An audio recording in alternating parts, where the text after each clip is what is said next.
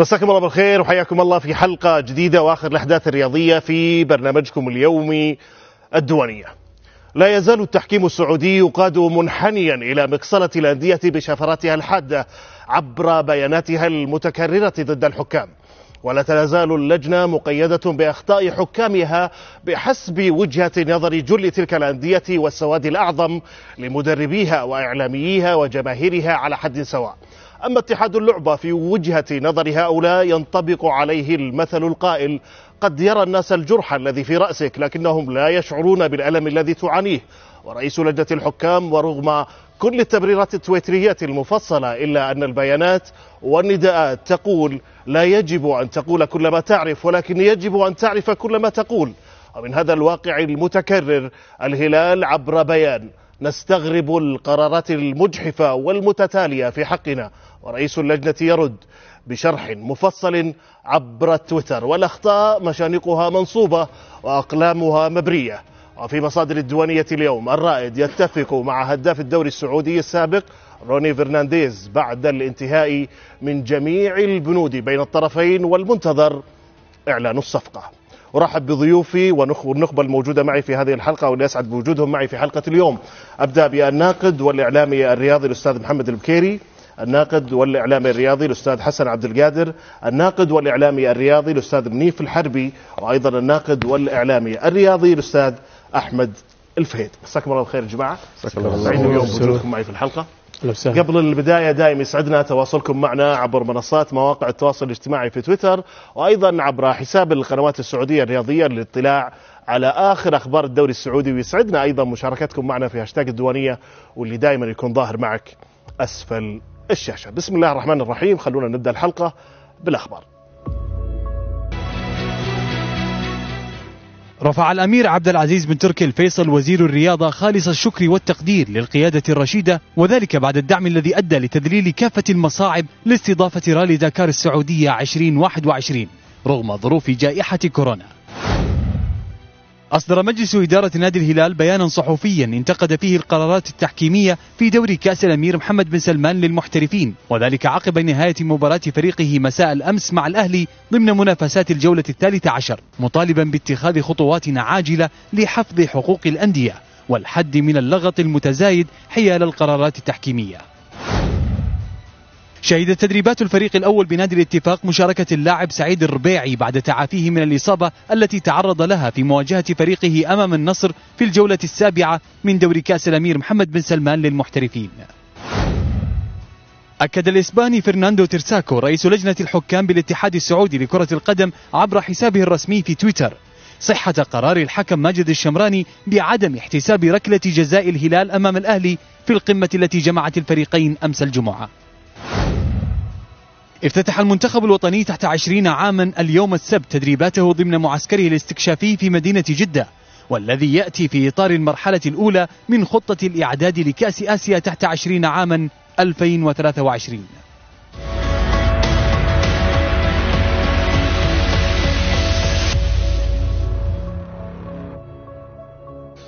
طبعا ما في صوت يعلو على صوت الأخطاء التحكيمية وبيانات الأندية حول آه، هذا الموضوع يمكن آخرها كان الهلال.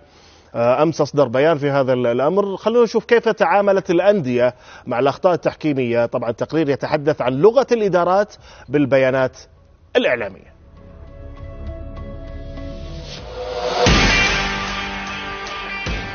مع بداية الموسم الحالي أصدر الاتحاد السعودي لكرة القدم قرارا بتقليص طواقم التحكيم الأجنبية إلى سبعة طواقم مع تحمل الأندية تكاليف الحكام. واليوم بعد ختام 13 جولة من الدوري لم تشهد ملاعبنا سوى ثنائي أجنبي قاد ديربي الرياض بالإضافة لمواجهة الفتح والتعاون.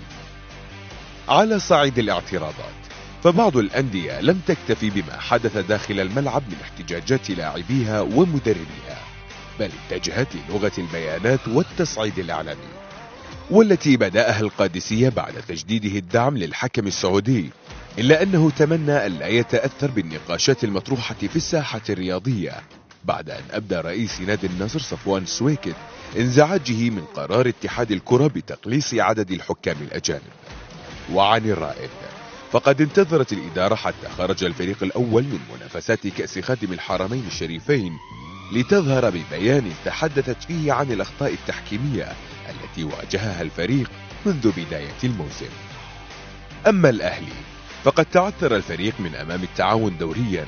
ليظهر البيان بعد اللقاء ب 24 ساعة محتجا على قرارات حكم المباراة التي أفقدتهما المحترف إدريس فتوحي لستة أسابيع دون أي قرار تحكيمي.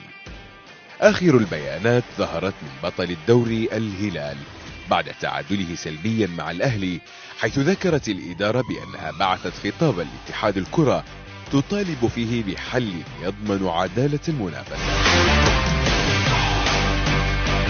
ما بين بيانات الأندية وتصاريح لاعبيها ومدربيها بعد المباراة أي الوسيلتين توصل بالرسالة؟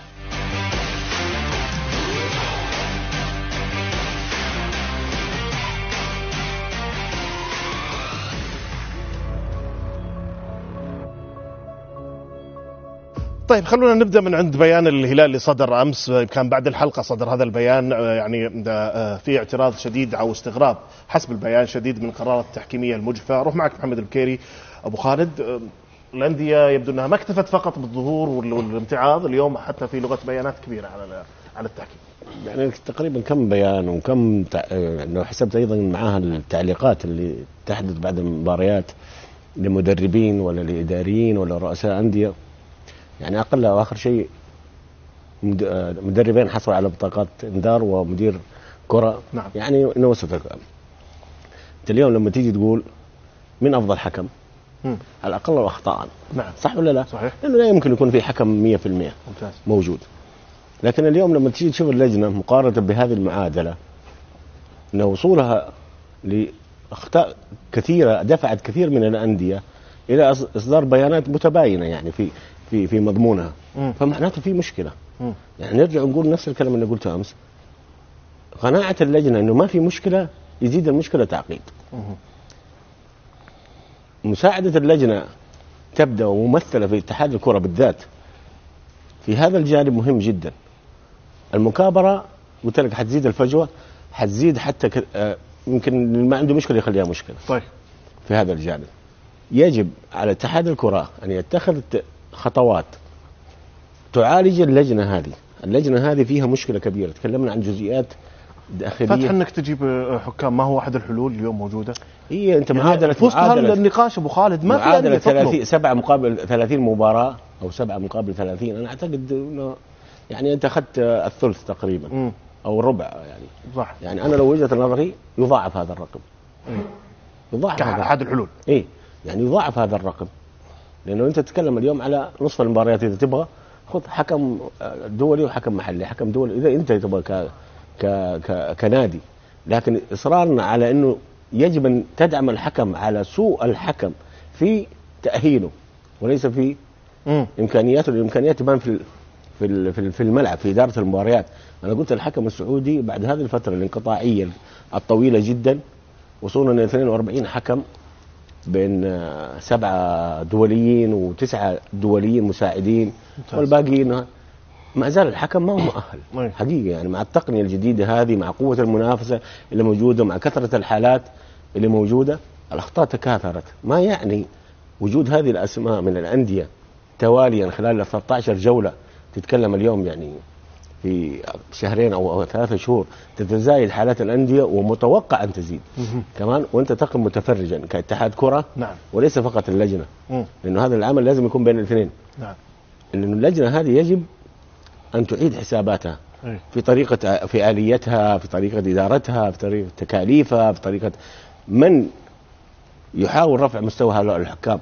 يجب أن يكون أنا أمس يجب أن يحضر ناس فاهمة بشكل لأن المشكلة اليوم أصبحت في التقنية في غرفة الفار مم. أكثر من قرار لأن هي الوسيلة المساعدة أي. والمسهلة للقرار أصبحت هي المشكلة مم. يعني أنا صراحة من الناس اللي سعيد بهذه التقنية مم. وأتمنى استمراره ضد واحد يقول لي والله لا نعتمد على الحكام وخلاص لكن أصبح حتى بعض الحكام يتورطون يتورطون في جهتين سواء التاهيل اللي قاعد يحصلون عليه داخل آه، داخل اللجنة صحيح وانعكس اثره عليه سواء على حكم الساحة كحكم ولا على اللي زميله اللي ماسك غرفة الفار. أوكي. بأكبر دليل يديك مخرجات هذه النتيجة كلها ان حصلت كل المشكلة عندنا في التقنية وفي الحالات في حالتين. اللي هي ركلات الجزاء طريقة احتسابها واحتساب الأهداف اللي يكون فيها لبس يعني أي. تقدم خط هذه تسرع. أيوه هذه أكبر مشكلتين اليوم ترجع لكل الحالات والإشكاليات اللي صايرة.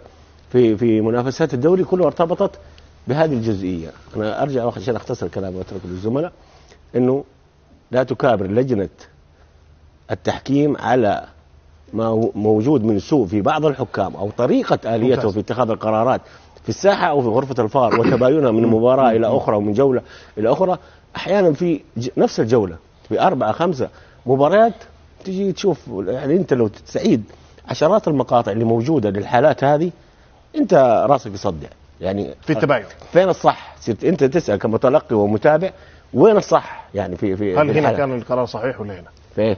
قصدك إنه في التباين في إيه القرار إيه.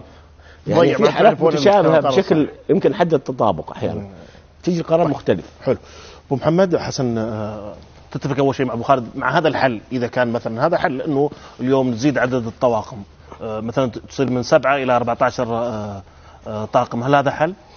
لا شوف أنا نسكت عن التحكيم بعدها؟ أيوه. الم... أصلا هي هي الحل موجود. أنت ممكن تدير الموسم كله بحكام أجانب. أيه. لأنه كل نادي عنده سبع طواقم أيوه. وكل الانديه بتشتكي. أيوه. لو كل نادي جاب السبع طواقم اللي عليه خلاص الموسم كله حكام أجانب. أها. فهمت علي؟ مم. يعني دحين الأندية كلها بتشتكي من التحكيم. طيب. وكل نادي عنده سبعة أطقم أجانب. لو كل نادي من 16 نادي كل نادي جاب سبعة أطقم أجانب. على على الأقل أنت الموسم كله نهايته يعني 80% 70% منه نهايته كلها حكام أجانب. طيب. يعني ما, ما يحتاج نضاعف العدد. ما له علاقة بالمضاعفه اي ما لها طيب. علاقة. لكن أنا أقول مشكلة الحكام هي مشكلة أزلية. مشكلة مستمرة. مشكلتنا الأندية مع الحكم السعودي مختلفة عن مشكلته مع الحكم الأجنبي. مشكلة الأندية السعودية مع الحكم السعودي هي مشكلة سوء نية. مم. وليس مشكلة قدرات حكم. طيب. يعني دائما ننظر للحكم السعودي إنه في نية سيئة. نرجع ننبش في تاريخه. هذا قبل سنتين حسب كذا وهذا قبل سنتين ابتسم للاعب ذا إيه. وهذا فتنظر له تتعامل معاه. وهذا يشجع كذا وهذا. وهذا يعني هذا بحس بسوء النية تنظر لإخطاء الحكم السعودي. ترى ممكن الإخطاء اللي حصلت ترى الحكام في المباريات الماضية كان ممكن أي حكم تجيبه من برا. ترى ما اقصد لا اختلف. لا لا عادي أنا أنا بس انت الجزئيه شايف يضحك. الحكم الحكم ابتسامتي والله ما فيها الحكم. الأجنبي أيضا يا حسن لما يكرر أخطائه يتم استبعاده. أكيد. لكن النشبة لما ينشب فيك حكم سعودي لا لا لا يعرف يتطور ولا يعرف يتحسن والمحسوب عليك. حكم سعودي. أنا تنظر للحكم الأجنبي إنه حكم أخطأ في مباراة طيب. ممكن يكون تقديري يعني. تنظر له إنه تقديري. لكن الحكم السعودي تنظر له بسوء نية. أنا أول شيء العتب خلينا نوجهها على ثلاث جهات. مم. الجهة الأولى على الحكم السعودي لأنه ما استفاد من فرصة ابتعاده خلال موسمين وما طور نفسه. عاد كما هو إلا عدد قليل. كيف يطور نفسه؟ يا أخي يعني مو بهذا الدور مفروض عند اللجنة ممثلة مثلا بالاتحاد؟ هو نفسه الحكم. المشكلة ما هي في أشياء الاتحاد ما يقدر يطورها. شلون؟ ثقتك بنفسك وشخصيتك. إي. شخصيتك داخل أرض الملعب. أنا أشوف شخصية الحكام تختلف من تحكيم لنادي لنادي آخر. ويمكن تتذكروا تصريح حارس القادسية لما قال إنه إحنا تعاملنا بوجه ويتعامل النادي الآخر بوجه آخر. يعني حتى الحكم نفسه يتعامل مع الأندية حسب مكانتها وحسب جماهيريتها. المشكلة الأولى الحكام ما طوروا أنفسهم ما قدموا نفسهم بشكل آخر ما استفادوا من فترة الإبعاد. إيه. النقطة الأخرى الاتحاد السعودي وكأنه الأمر لا يعنيه زين ترى اللي أنت قلت في البداية أنا فاكر تصريح أستاذ ياسر إنه إحنا سنحمي الأندية. اي اللي سنحمي الحكام. صلاح من الحكام إيه. الآن شفنا الحكام بيتعرضون لاقصى الحديث سواء في مواقع التواصل ومسؤولين أندية بتكلم عن جماهير. يعني اللي حدث أمس مثلا مدرب الهلال مع الحكم ويداري الهلال مع الحكم مفترض مفترض منطقيا وهو مو الهلال حتى لو الأهلي حتى لو النصر نفترض أنه تتخذ عقوبة ضدها. أنت ما أنت رجل مشرع في الهلال تقدر تحاسب الحكم في جهات تحاسبه طيب. إذا في أخطاء لك. هذه نقطة. يعني ما حمت الحكام. مو ما صدقت في كلامها اللي قالت في البداية. النقطة الأخرى ال- ال- بس أوقعت عقوبات على اللي تحدث عن التحكيم عن مسؤولين ال- المباراة على أكثر من شفنا جوفينكو شفنا أسماء كثيرة أنا لا. وفي كثير عدت ما حصل فيها شيء أي. يعني أتذكر لك حالات في كثير حصلت يعني مثلاً؟ شفنا هاسي مثلا واحد. شفنا هاسي شفنا ال- العطوي مدرب الاتفاق تحدث قال في اشياء خارج كرة القدم حصلت في مباراة أشياء زي كذا ما طيب. ما صار فيها النقطة الأخيرة أنا لرئيس هيئه الحكام هذا رجل انتقائي في تغريداته كيف؟ أنا قلتها عندك في الحلقة هنا قبل ثلاث أسابيع. لما طلع تكلم تغريدة على موضوع يتعلق بالنصر أعتقد أو زين. حاله. اليوم أمس طلع تحدث عن موضوع يتعلق بالهلال. الرايد اشتكى ما طلع. الأهلي قدم بيان ما طلع. الاتحاد احتجوا وتكلموا ما طلع. يطلع للهلال أو للنصر. ترى 16 نادي سعودي رئيس الاتحاد. يعني الأهلي مو حق لما فتوحي ستة غ... ستة أسابيع يغيب واصابه واضحة وصدر بيان ليه ما طلعت تحدثت عن الحاله أيه. الرايد طل... صدر بيان وتحدث. ليه ما طلعت؟ تحدثت عن حالة الرايد ليه تختصر الدوري السعودي في الهلال والنصر مثلا؟ ليه؟ هذا رئيس الحكام. يعني أنت رئيس الحكام ومس... كل الأندية عندك افترض إنه سواسية. ما تتعامل مع نادي ما نبغى انتقائية في الحديث عن الأندية وعن الحالات. يبرر كل الحالات. كل الحالات. أيه. أنت الأندية عندك كلها سواسية. بس أنا يعني معلش. ما عندي رصد. حقيقي بس لا،. أنا أعتقد إنه شرح أكثر من حالة. ما ما خصت يعني نصر و لا لا الهلال. بعد بيان الهلال أمس طلع اليوم تحدث عن الحاله اللي البارح. إيه. صح؟ إيه. طيب الأهلي صدر بيان بعد موضوع موضوع إصابة فتوح ليه ما طلع؟ الرايد صدر بيان بعد مباراته مع أعتقد النصر أو ليه ما طلع؟ إيه ليه ما طلع؟ ممتاز. ليه يطلع في حالات ويسيب حالات؟ لما يكون رئيس الاتحاد رئيس لجنة الحكام في الاتحاد السعودي ينظر للأندية السعودية لناديين إذا ما تلوم الحكام بقية الحكام إذا كانوا صاروا في نفس النهج مثلا في التعامل مع الأندية ممتاز براكان على هذا الموضوع وأضيف لها اللي قبل شوي تكلم عنه حسن رئيس لجنة الحكام واللي جالس يظهر ويحاول يشرح أكثر من حالة موجودة من خلال تويتر بشرح مفصل ولكن لا زال الموضوع آه، في دائرة النقد. شوف يا أبو خالد يعني نتفق أنه موضوع التحكيم موضوع عالمي. آه، قضية التحكيم والجدل حول التحكيم لن تنتهي. قضية من سنين طويلة جزء من كرة القدم. لكن الحديث أو انتقاد ال- الحكم السعودي والأخطاء اللي تحدث تحديدا تحديدا في هذا الموسم آه، لا يعني فيه أن تنتفي أخطاء التحكيم نهائيا لكن يفترض أن في وجود التقنية الحديثة اللي تساعد الحكم بشكل كبير أن تكون أخطاء الحكام السعوديين أقل بكثير من اللي شفناه. بل أنها ليست أخطاء. معظمها كانت كوارث. وتتذكر أبو خالد لما كنت موجود معك في حلقة هنا بعد مباراة النصر والشباب نعم. وقلت أني أتمنى على سمو الأمير عبد العزيز بن تركي والأستاذ ياسر المسحل. انه يكون في تدخل.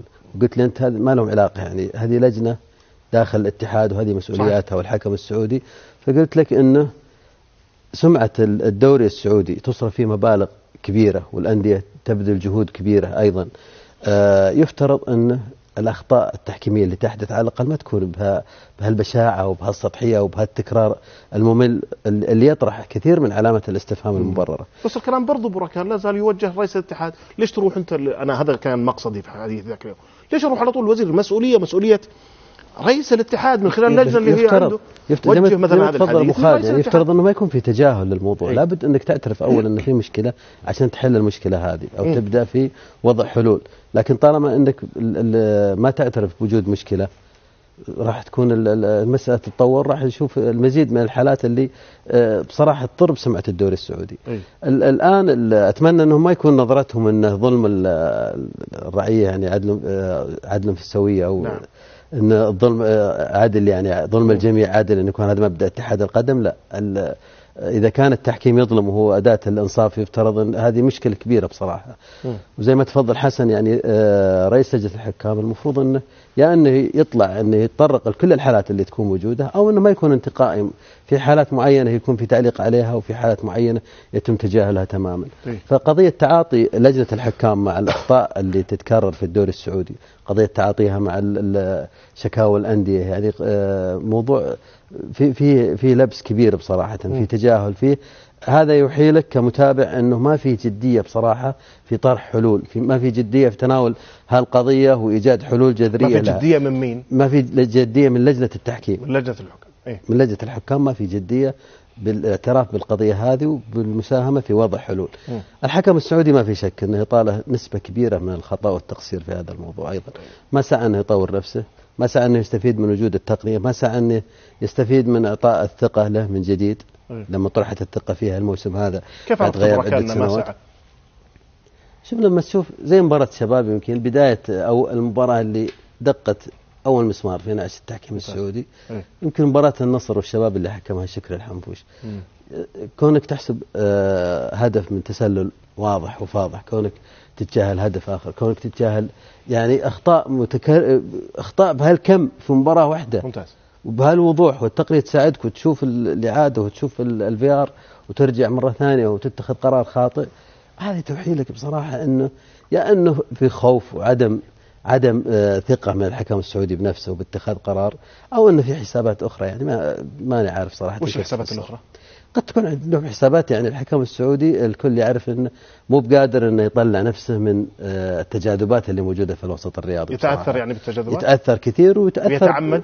ويتأثر بعاطفته قد ما يتعمد؟ يكون تعمد بشكل واضح لكن بس أنت في حديثك السابق يتخذ موقف وسط. يعني يميل لل- للجهة بس في حديث سابق بين العاطفي يعني وراكان هنا كنت ترى بأنه في تعمد عند الحكم على آه، بعض المباريات لا ما قلت إنه تعمد بشكل واضح أنا قلت تعمد إنه يميل للقرار اللي آه، يتجه باتجاه عاطفته إذا. كان قرار يحتمل احتمالين حتى لو. كانت النسبة عاطفة الأكبر ميول يعني. عاطفة ميول إيه. عاطفة ميول وهذه مصيبة كبيرة بصراحة مؤمن إنها موجودة أنت راكان. أنا مؤمن تماما إنه ي- ممكن الحكم آه، آه، ينجذب لميوله وبالتالي يأخذ قرار لمصلحة الميول متأكد أنا من وجود الموضوع هذا تمام من الإخطاء اللي شفناها السنة هذه بصراحة ما في تفسير موجودة. آخر أقرب من التفسير كان هذا موجودة الحين مثلا الدوري الإنجليزي واحد من الد- الدوريات اللي كل العالم يضرب فيها مثل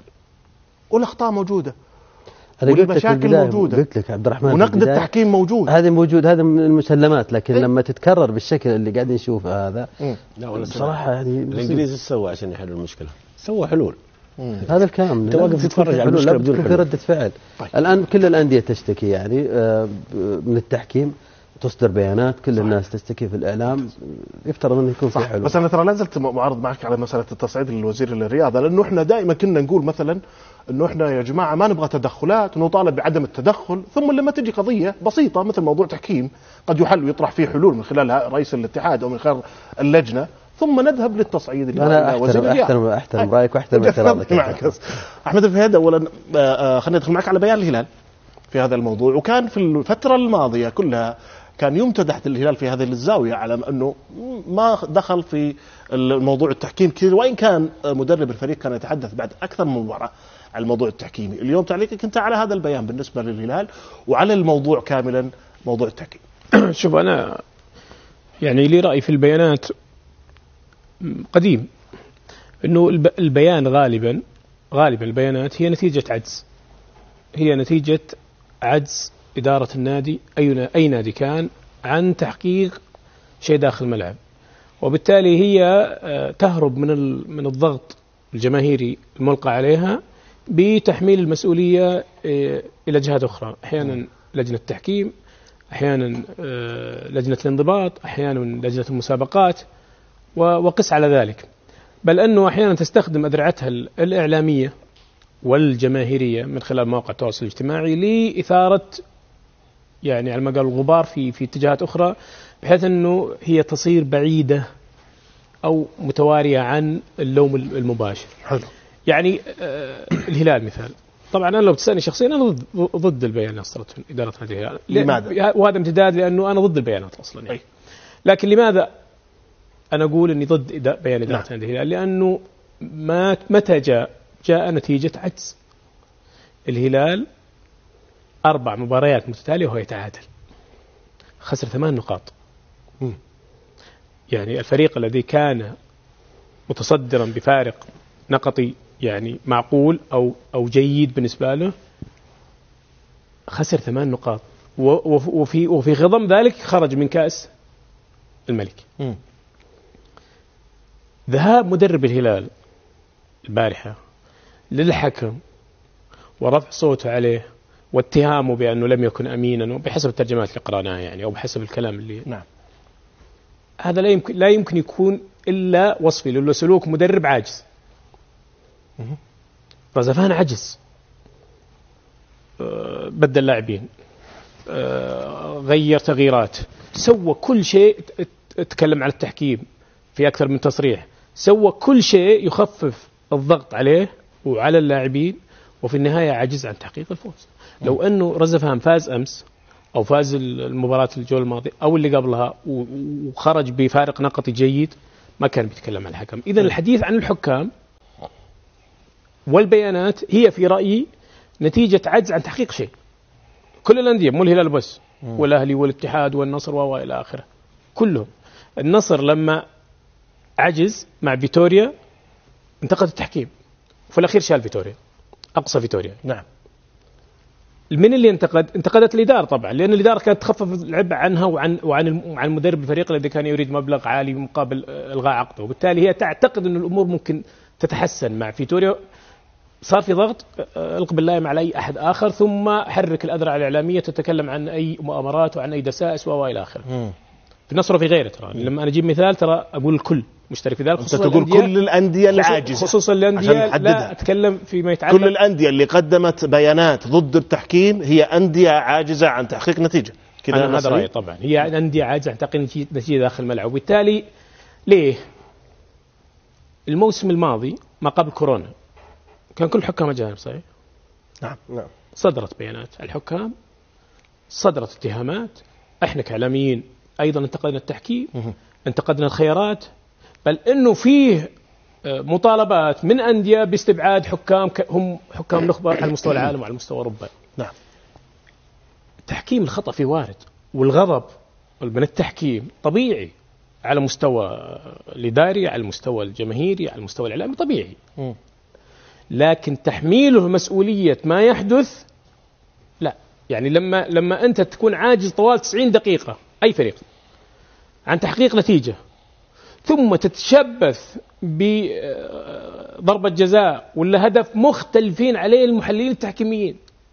يعني إحنا ما نتكلم عن شيء واضح وضوح الشمس كرة مت- متخطية المرمى وكاشفتها الدنيا وراح الحكم وقال لا ما, ما تخطت المرمى.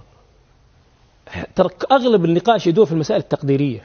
إي. أغلبه في المسائل التقديرية. أي. بدليل إنه في حكام عبد الرحمن الزيد عمر المهنا محمد فودة آه، جمال غندور من مصر آه، سمير سمير عثمان. سمير عثمان من مصر. آه، مي- مين بعد؟ قل قل لي والله معجب مطرف. معجب مطرف. جميع مختلفين. الزملاء. وهي الحالة واحدة. وهي حالة نفسها نفسها. يشوفون لا ويشوفونها بعد ساعتين أو ثلاث ساعات. مم. يعني إحنا نشوفها في التلفزيون أنا أشوفها أقول والله ضربة جزاء. اللي جنبي يقول لا أنا أقول ما هي ضربة جزاء. الحكم أمس مع الفار ترى مختلفين. لأنه لأنه وفق وفق البروتوكول حق الفي ار إنه الحكم ما يذهب إلى الشاشة إلا إذا إذا اختلف قراره مع مع مع آه، غرفة الفار. يعني أمس. الحكم ما حسبها ضربه جزاء أيوه. فتوقف الفار. ليه رجع الحكم؟ لأنه اختلف قراره مع الفار، الفار قالوا ضربه جزاء، مم. يعني قرار الفار إنه يشوفونها ضربه جزاء، نعم. فلازم أنت تشوفها،. فرجع رآها تقديريا إنه ما فيها شيء، أي.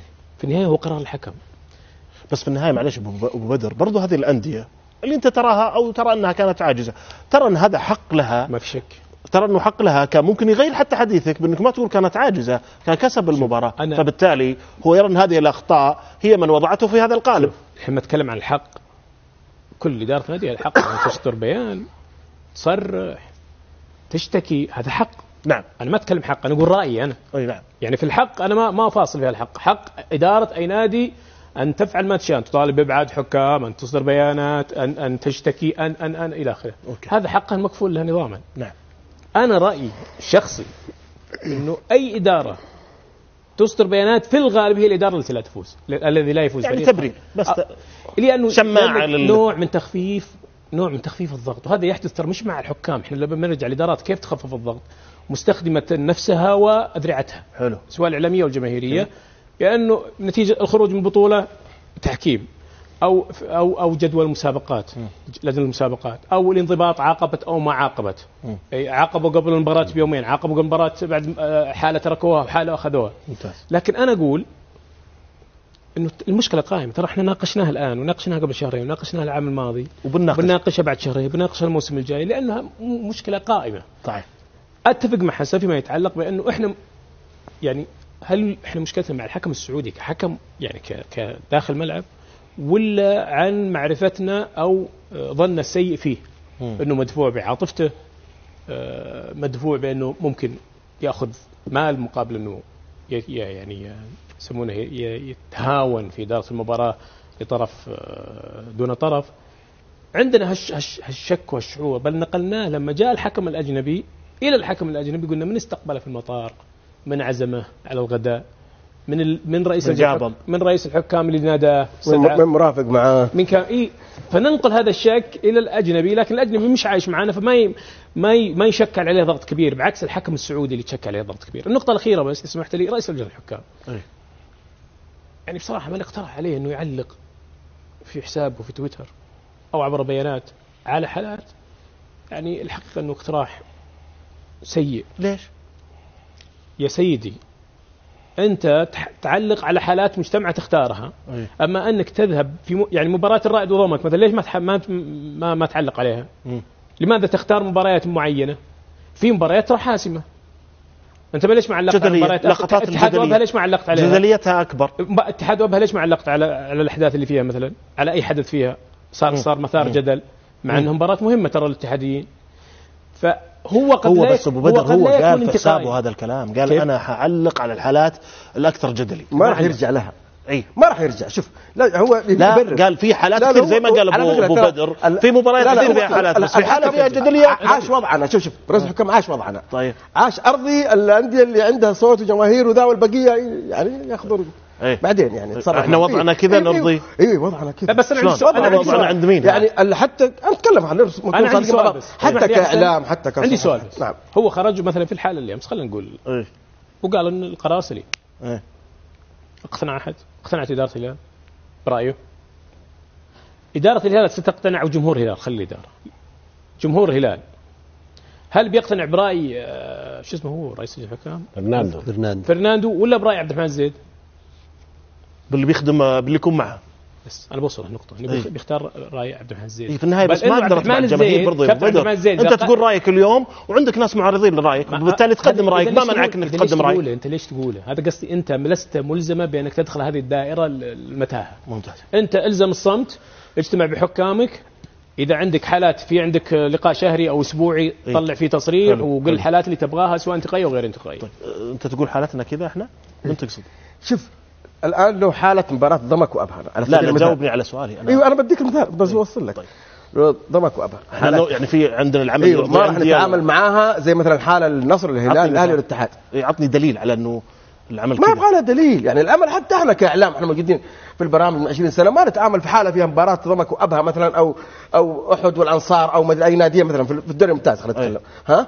حالة جدليه وصار. مشكلة؟ لا تعمم إحنا نتعامل مع كل الحالات اللي موجودة أي حالة جدليه نطرحها. المقاطع موجوده موجودة. اي لا عشان ما يقصد كذا. كبرنامج هو يقصد يقصد كبرنامج. هو. إحنا كإعلام لا لا ككل ككل. إحنا الساحة كلنا نمثل الرياضية. الاعلام. الساحه الرياضية ككل. حتى حتى ال social media حتى كله ترى إحنا التعامل بانتقائيه حتى في التعامل مع الحالات. يعني حكم حصل الجماهيرية حالة طبعاً. إيوه حالة الأندية الجماهيرية تحصل ترند لكن حال النادي مظلوم فعلا في أندية الوسط وذا والله ما حد يجيب خبره. تعدي. تحلف؟ والله ما حد يجيب خبره. تعدي. أبو خالد بس تحلف على الهواء بعلق على بس ابو اسمع اسمح لي براكان أبغى خليك تعلق بس بسمع. محمد بكيري. على ال- على هذا الحديث وانت أصلا أمس قلت موضوع في هذا الاتجاه اللي سألت فيه براكان مثلا قلت تركي الخضير هو اتحادي ولذلك هو على أساس على أساس إنه يهرب من مسألة ال- ال- ال- الميول ظلم الاتحاد لا أنا ما أقول ظلام أنا أقول واضح إنه هو ميوله يعني في إنسان أحيانا زي عبد الرحمن الزيد حكم دولي مم. ولعب في الهلال وأشياء ومن الناس اللي طالبوا إنه ما يحكم مباريات الهلال ليه؟ الانسان عشان يحيد نفسه ولا يدخل في تباينات الرأي أو هذا من هذا. أنا طيب اكمل سؤالي. طيب. يعني أنت قصدك إنه كل اللاعب كل المدرب عفوا الحكام اللي عندهم اليوم ميول بيظلمون أنديتهم على أساس هم يهربون من هذا لا؟ في ناس قادرة تتحكم في ميولها. كل الحكام عارف ميولهم من. وكثير يعرفون ميولهم. موجودين يعني. هي مو عيب إنه ولا تهم إنه أنا تقول لك انك تشجع لكن هل بتأثر عليك في في مباريات؟ هل تاخذك لضغط بس أنا فهمت تقدمها هل- كعيب يا أبو خالد. ها؟ أنت تقدمها كعيب. كيف؟ أنت اليوم تأخذها كأنه عيب في, الموضوع. لا أنا الحين أمس لما تكلمت يا رجل تكلم خمس دقائق أنا في أمس بالمقطع. تقول لي أنا قايل عيب. أقول إنه هي أنا قصدي أنت تقدمها للرأي العام كأنه عيب. انت أنت يا تركي الخضير لأنك اتحادي ظلمت الاتحاد لا أنا أقول تحاول تهرب من هذا الموضوع. باتت تؤثر عليه بدليل. من 2014 إلى 2020 ست سنوات ما في أغلبها مباريات سيئة للاتحاد. فال- وهو معروف أصلا. حتى في أوساط وقلت لك و- وفي أوساط ال... يعني الدكتور جاسم أمس قال لي اتحادي أصلا قبل أتكلم. مم. يعني معروف هو ميوله. فصارت تأثر عليه. فإذا أنت كانت تأثر عليه نتائج هذه هذه الميول فأنت ما أنت ملزم إنك أنت يعني تتركز في كل مباراة موجودة اللي فيها ميولك. أنت المفروض حيد نفسك وابعد عن ال- المشاكل. هو ولا غيره من أصحاب الميول. يعني في ناس ترى هذا بشر في النهاية. يعني بشر في النهاية هو. له عاطفته له تأثيره. وأشياء كثير يتأثر فيها بس الانسان هذه لها علاقة بالشخصية بعد أبو خالد. يعني اليوم أنا إذا كنت بقول لكل حكم أنت لا تحكم مباريات اللي فيها ميولك وأنت تتحدث عن شخصيته كيف جيجي. شخصيتك تحضر؟ مثلاً- أنت اليوم إنك تطبق القانون أنت اليوم حكم قاضي في الملعب. يجب إنك تكون معرض لانك اليوم تشت أو تكون موجود في مباراة وميولك موجود ولكن أنت تؤدي عملك. ما له علاقة. هذه الشخصية وهذه القوة. أنا قاعد أحلل المشهد. أنا ما أنا ادخل بنية الرجال. طيب. أنا أحلل المشهد. أنا ناقش برضه لاحظ في نظرتك. ميوله واضح انها لها تأثير. وأنا قلت لك أنا أعرف علاقتي كويسة فيه. يعني هو شاب كان. مم. لسه ب 19 20 سنة كان ذا الكلام. هو. يعني كلام يتكلم عشان بدقة لأنه في بعض الناس تتكلم على التاريخ. 99 2000 يعني ذا الكلام كان. مم. تقريبا يعني كان الكلام هذا. فهي يعني في في سلسلة مباريات تتكلم عليه. لا ما كان ناجح. يا أخي إذا كان أنت تأثيرك تبغى تسوي عكسي عشان ما يؤخذ عليك وانت معروف؟ لأنه في أشياء خلفيات عنده هو. هو معروف معروف. يعني أي. في الجانب الميول هذا. بشكل واضح كان. عنده. فاستثني نفسك من هذا الجانب. في في قيادة ال- ال- ال- المباريات اللي تأثر عليك. اي إذا كان أنت يعني صار ما شاء الله تبارك الله في كل مباراة. أيوه. موجود. يعني دحين حتى دحين. يعني أنت إيش الطاقة اللي عندك هذه؟ يعني ما شاء الله وال- والقدرات. أنت كحكم شخصي يعني نتكلم مو بعيد عن مباراة الاتحاد وشيء مباراه اليوم تراقبها بكرة مباراة تحكمها بكرة تروح عندنا حكم آه، ساحة شوية حكم مراقب شوية حكم آه، في غرفة الفار يعني أنت ما أنت طيب رئيس اللجنة اليوم ظهوره وشرحه على على تويتر أنت والله يعني ما قصر زمان أنا علقت عليه في في تويتر اللي هو يعني يا إما ياخذها يعني بشكل موسع في الحالات الأسبوعية يتكلم مظبوط. عليها صح. ولا أصمت؟ صح. مع. احترامي لك لأنك أنت إذا كان دورك في هذا الحساب إنها محاولة دفاع عن الحكام أو هي محاولة تثقيف الرأي العام فاذا يجب أن تأخذها بتوسع يعني أنت تأخذ الجولة تجي تجيني مثلا يا كل مباراتين ثلاثة اللي صايرة اليوم تحلق عليها اليوم نهاية الثاني أو نهاية جولة وتأخذ كل شيء يعني مثلا أو يعني أو حطوا على له قولهم فقرة مع- يعني. ما يكون في انتقائية ساخن أخذها حطوا له طوال فقره دي. في الديوانية هنا واتكلم بتوسع لأنه في. مباريات جدلية يعني ذكرها أكثر ممكن. إحنا ما عندنا مشكلة. إذا هو يبغى يخليها يعني أكثر من مباراة. بالعكس يعني اعتبرها انها دفاع عن عن عن الحكام وأعتبرها تثقيف لل- للآخرين. يعني مستفيد من من خبرته في في الناحية القانونية التقنية هذه اللي مثيرة للجدل إنه اليوم كان يتكلم على التقاطعات وعلى متى ننزل ال- ال- ال- الفار كذا بالطريقة دي. كان يتكلم في أشياء. مفيدة لكن أنت اليوم قاعد تسوي انتقائية. في الحالات. يعني في رأي عام يروح يشوف في حالات أقوى.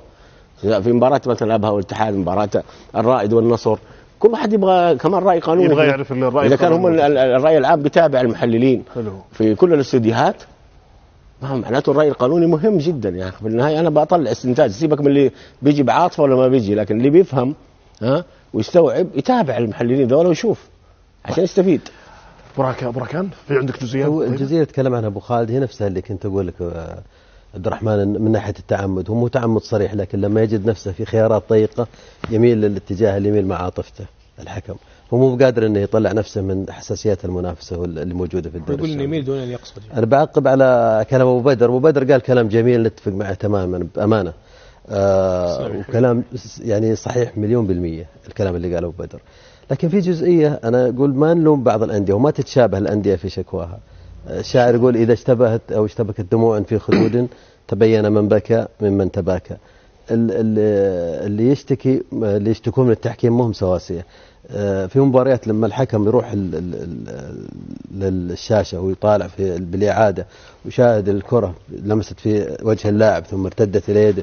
ويعني لقطة 100% ما واضح أنها ليست ضربة جزاء ثم يصر أن يحتسبها ضربة جزاء ما تقدر تفسرها أي تفسير آخر ولا تقدر تلوم النادي. يعني الأندية اللي تشتكي آه، عندها ظروف. يعني على سبيل المثال النصر مثلا. النصر كان عنده إصابات كورونا عنده إصابات آه، لعيبة كثار آه، غيابات عنده مشاكل. كورونا يعني مر على كل الأندية براكان. مرت على كل الأندية لكن في الظرف اللي مر على نادي النصر ما في أي نادي يشبه بصراحة. فلما تجي مباراة الشباب والحكم يرتكب هالكم من الأخطاء اللي تضر فيه وهي المباراة اللي أعتبرها أدخلت النصر في نفق نفسي معنوي آه، ما خرج منه إلا الفترة الأخيرة بعد بعض إجراء الصدمات للفريق.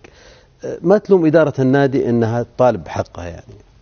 ليس ليس فشل داخل الملعب هي داخل الملعب. لو أنصفها التحكيم كان محقق الانتصار. ترى أنا مالوم وال- والجميع أجمع على انه أنا جبتها على سبيل المثال أنا لا بس أبو أنا بدر. مالوم سوي اللي تبغى بس أنا أي رأيي بس مو مو مسألة عجز. أنا ما أتفق إنها فريق. مسألة عجز دائما انه معناك تصدر معناته إنك تصدر بيان ضد التحكيم انه الإدارة أو الفريق عاجز لا قد يكون الفريق ممتاز. جاهز تماما وقادر على أن يحقق حلو. الانتصار إذا نال. حقه التحكيمي العادل لكن عندما يكون التحكيم ضدك ويرتكب هالكم من الأخطاء ما تجد أمامك إلا أنك تعبر عن احتجاجك على مثل بس إنك ترى الأخطاء ما هي متساوية الشكوى عفوا ما هي متساوية إي طبعا متساوي مخ- م- متفاوتة متفاوتة نادي. فعلا متضرر ونادي لا يعني نادي لا يعني ما يبغى يظهر بصورة المستفيد آه، لازم يشارك الجميع شلون يعني هو كذا بس مشارك يعني إنه أنا ترى برضو عندي أخطائي آه، لا لا- لابد إنه آه، يعني زي شاف الجميع يطلعون بيانات أو يعبرون عن مين؟ للتحكيم على سبيل المثال نادي الهلال ال- ال- البيان الأخير عشان ضربة جزاء غير حقيقية ما الهلال ما كان يعني في أخطاء تحكيمية كثيرة في المباراة عشان يطلع البيان مثل البيان. لكن شاف الأندية كلها تشتكي من كيف. مدرب وعنده عنده ثلاث أو أربع مباريات مدرب الهلال يظهر ويقول عندي يعني ينتقد التحكيم.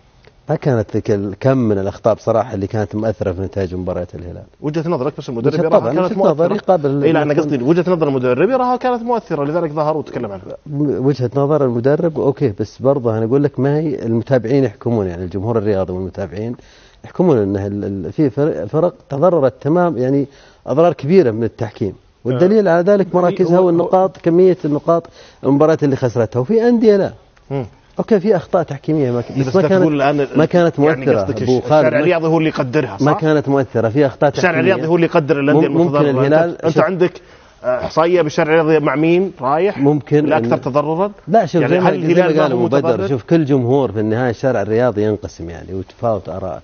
كل جمهور يشوف إن فريقه هو الأكثر تضرر اي لذلك أنا ما أقدر أحكمها أبو راكان لكن- ما أقدر أقول هذا النادي هو أكثر تضررا أو هذا اي بس. الحقيقة لأنه كل كل نادي الحقيقة أبو خالد وإعلامه بيكون أيضا بي- بيدافع عن الحقيقة أبو خالد في. اخطاء في أخطاء تحكيمية أثرت على نتائج المباريات وأضرت الفرق وفي أخطاء تحكيمية لا ممكن تعرض الأخطاء التحكيمية الفريق هذا في المباراه في مباراة معينة لكن ما أثرت على نتيجته ظهر خرج فائز في المباراة إيه. وما ما ضرت الأخطاء أي. التحكيمية بس أنت ترى الهلال فقط آه، من خلال هذا البيان بس كأنه يعني إنه أنا برضو عندي اخطاء تحكيميه ولكن في وجهة نظرك إنه لا الهلال مو كل البيانات حتى نادي القادسية لا، لما حتى نادي. القادسية لما طلع بيان الهلال أنت تقول لما, لما لا. طلع بيان نادي ضربت مثلا القادسية بالهلال أنت ترى إن الهلال إيه أنا أشوف من وجهة. نظري الشخصية يعني إيه. كرأي شخصي إنه ما كان في اخطاء آه، تحكيمية يعني آه، مؤثرة على مباريات الهلال يقدر أثرت على هلالي نتائجه. يقدر اي هلالي يقدر يجمع لك عشرات المقاطع واللي اتفقوا عليه حتى المحللين المحللين كانت انها انها, إنها صحيحة لصالح الهلال. ما ما ضرت بالهلال ما خسرت نتائج مباريات كثيرة هذا وجهة نظري يعني. لأنه كان قوي يفوز. إذا كسب هو هذا شيء ثاني. كان قوي وكان كان قوي. يفوز. بالتالي مدربه كان ساكت. لما عجز الهلال هذا كلامي. لما عجز الهلال داخل الملعب وعدمت الحلول والمدرب أنا أقول إنه رزفان مدرب ترى كبير وقدير. ممتاز. بس انه. بس أنا أسمح لي إيه. بس إنه يق- المدرب مع مرور الوقت يكشف. يكشف تعرف تعرف مفاتيح قوته ومكان من ضعفه ويعرف طريقته. لما يكون يبغى يمشي. إيه لا لا ما يكون يبغى يمشي لا هو راغب يعني هو حاب.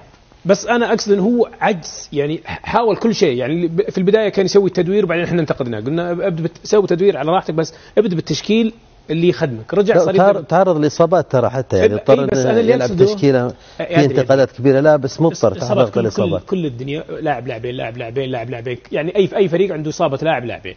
أي أي فريق. في كل مباراة نتيجة أو إيقاف. بس اللي أقصده لما عجز رزفان أمس اندفاعته للحكم وصلته لحد إنه ما حد ما, ما أدري إيش يسوي. أنا خاسر. أربع مباريات وطالع من الكاس الخامسه وأنا عندي فاصل إعلاني لازم أطلع. روح فاصل إعلاني وأرجع علي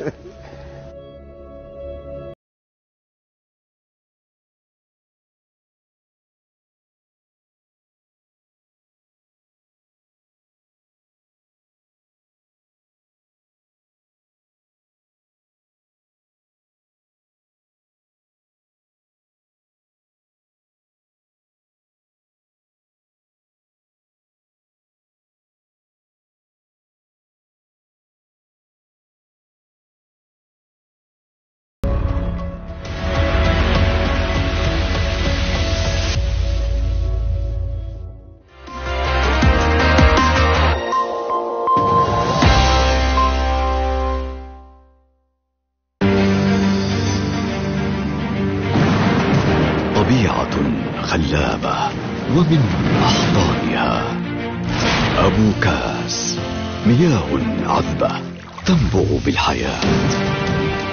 فتتناغم الطبيعة مع الإحساس. ليأخذ النفس مكانه لتترجم أطباقك شغف إحساسك أبو كاس قصة إبداع تروى في مطبخك.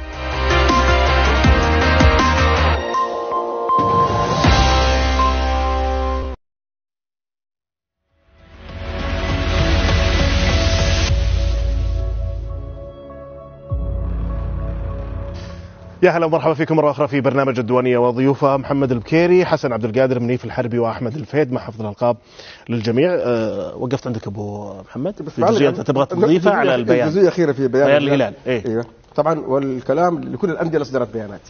يعني الجزئية الأخيرة يقول لك ويطالب مجلس إدارة ال... ويطالب مجلس الإدارة الاتحاد السعودي لكرة القدم اتخاذ خطوات عاجلة لحفظ حقوق الأندية. اتخاذ خطوات عاجلة. طيب. دورك أنت كأندية مش الهلال هلال النصر الأهلي الاتحاد كل الأندية. لما تطالب بيانات أنت اديني إيش الحلول العاجلة لتطوير التحكيم قدم لي أنت الحلول. أه؟ قدم لي أنت أنت كنادي الحلول. أيوه أنت إيه. شريك. أنت ممكن تطلب الأندية يصير منهم اعضاء الجمعيه العمومية ممثلين نعم. للانديه أنت أجلسوا حلو. اجتمعوا. حلو. إيش الحلول العاجله يعني اتمنيت إنه مجلس إدارة نادي الهلال أمس في البيان يقول لك ترى واحد اثنين ثلاثة أربعة. هذه حلول عاجلة أنا أقدمها. وأنت نادي كبير ونادي عندك مستشارين وعندك خبراء وعندك خبرات. قدم لي الحلول العاجلة دي عشان أدرسها صح. ممكن تكون مفيدة لي ممكن. ترسل بخطاب خاص. هذه ما تكتب في البيانات يا حسن. هذه ترسل بخطاب خاص هو يطالب يا أبو خالد هو بس هذا هذا الكلام يعني الإطار العام للبيان حقه لكن التفاصيل هذه يشرحها لا بتفاصيل معينه تفرق يا أبو خالد لما يقول أنا أقدم ولا يقول أنا أطالب هو يط- يطالب ان الاتحاد السعودي يتخذ خطوات عاجلة طيب. وحتى الأهلي حتى الاتحاد حتى الانديه كلها طيب، تطالب. هذا المفروض الاتحاد- المفروض أنت اللجنة هي اللي ترد عليه، تقول اديني هذه. وش الخطوات؟ العاجلة ها وش الخطوات العاجلة اللي ممكن هذا السؤال. لا لا أتكلم الحين إحنا لو الحين إحنا لو بنجلس إحنا الأربعة كان معنا أبو خالد عبد الرحمن اللي بنقول نقترح الاتحاد السعودي ما حنلقى ترى. ما حتلقى مقترحات. طب أنت لما الرئيس- هو حكم هو أداء أداء حكم. لا، لا، لا، لا، لا، لحد- أحمد، لما-. لما بيان عطني. بيان يا نادي. الهلال. يلا أبو خالد نقترح. يعني بيان لا. نادي الهلال. اتخاذ خطوات عاجلة. أنا بعرف إيش الخطوات العاجلة اللي ممكن لا لا خلينا نسمع اقتراح. لا، أبو خالد اقتراح. يطرحها الحين أحمد يقول يلا خلينا نسمع منكم عشان. يسمع مننا. إيش عندك حلول؟ يلا قول. رئيس نادي؟ لا لا لا أنا بتكلم حتى الآن. كاعلامي يقول أبو أبو- أبو بدر يسألك خلينا إحنا نقدم. أنا أنا أنا إيش عندنا مثلا؟ يلا اعطينا حل. اعطني واحد. اختيار حكمين موجودين حاليا ورعاده الحكام الأجانب حتى نجيب تأهيل حكام سعوديين قادرين.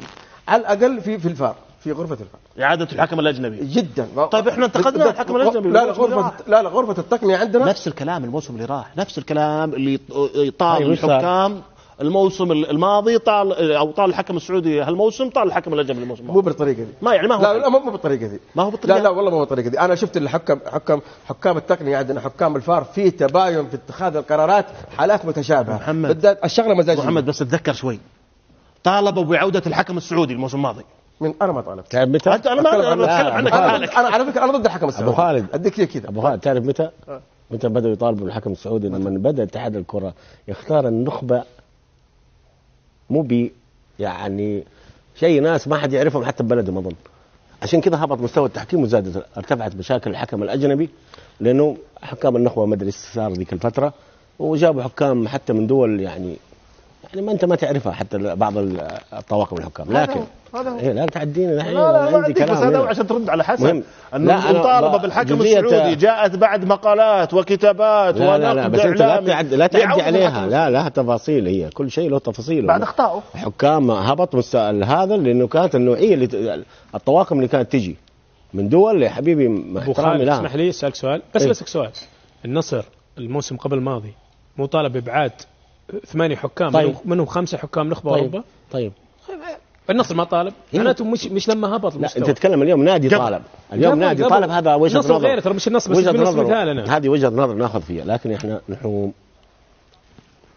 مثل الفراشة ولا نلدغ كالنحله بجد صراحة إحنا قاعدين ندور في الحكم طيب إحنا إحنا مو مؤمنين إيمان كامل إنه آه،. آه، مشكلة التحكيم مكررة صح ولا لا؟ صحيح. عندنا مشكلة تحكيم مكرره زين. وعندنا قناعة إنه مثلا التقنية هذه لما جات بتخفف ال- ال- ال- المشكلة. ومع ذلك المشكلة باقية. نتكلم عن الحكم السعودي. يلا.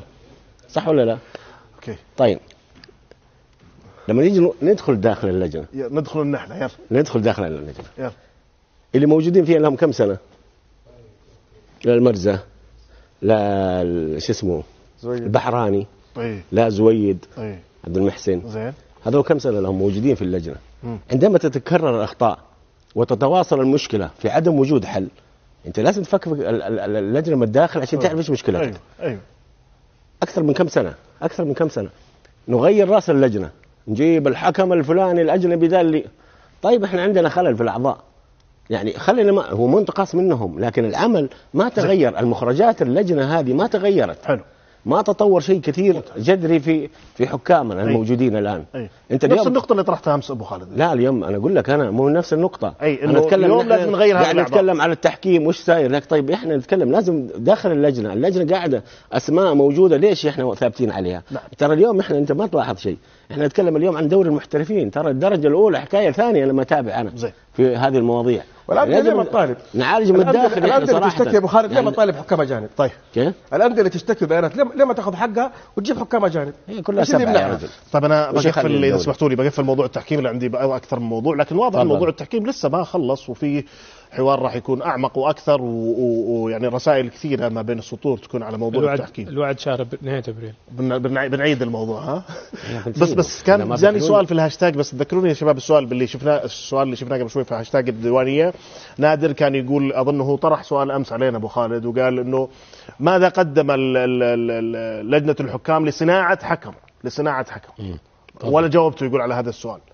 جاوب عليه آه، محمد بكيري إيش هو؟ جاوبت عليه امس أنت جاوب إيش كان جوابنا قلت إنه الح...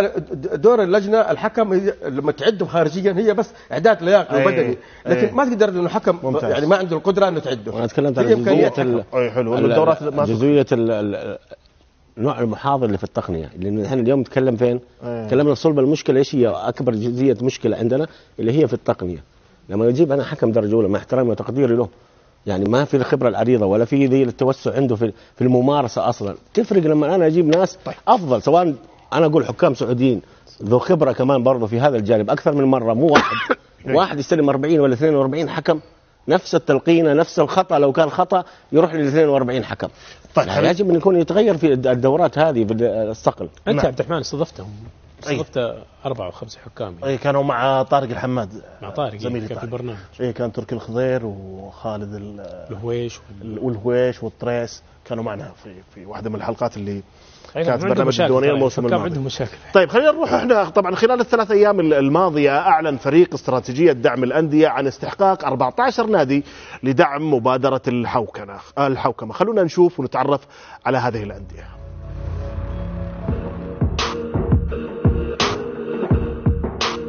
انتهى تقييم شهر يناير للربع الثالث من الموسم الرياضي الحالي في دعم مبادرة الحوكمة. وأعلن فريق استراتيجية دعم الأندية الرياضية استحقاق 14 ناديا من أصل 16 استطاعت الحصول على النقاط المطلوبة التي تمثل أعلى من الحد الأدنى المقرر لهذا الربع وهو خمسة من أصل سبعة نقاط. الناديان اللذان حققا أقل من هذا الحد كانا العين والباطن. حيث حصل كل منهما على أقل من خمس نقاط كانت سببا في حرمانهما من أحقية الدعم فيما أصبحت بقية الأندية مؤهلة للحصول على الدعم الإضافي. في هذا الربع زاد معدل التقييم للأندية بشكل عام والذي انعكس على عدد الأندية الحاصلة على الدعم وتمت عملية تقييم الحوكمة في هذا الربع وفق معايير محددة أسوة بالفترات الماضية. كما تم مطابقة جميع المستندات المقدمة من الأندية مع التقارير الصادرة من الجهات ذات العلاقة كالاتحاد السعودي لكرة القدم ورابطة دوري المحترفين وتقارير لجنة الكفاءة المالية. الخامس عشر من أبريل القادم سيكون موعد إعلان الاستحقاق لدعم الربع الرابع والذي يشترط حصول الأندية على ست نقاط من أصل سبعة كحد أدنى لنيل الدعم. على أن يكون الثامن من أبريل هو الموعد الأخير لتقديم المستندات الخاصة بالتقييم.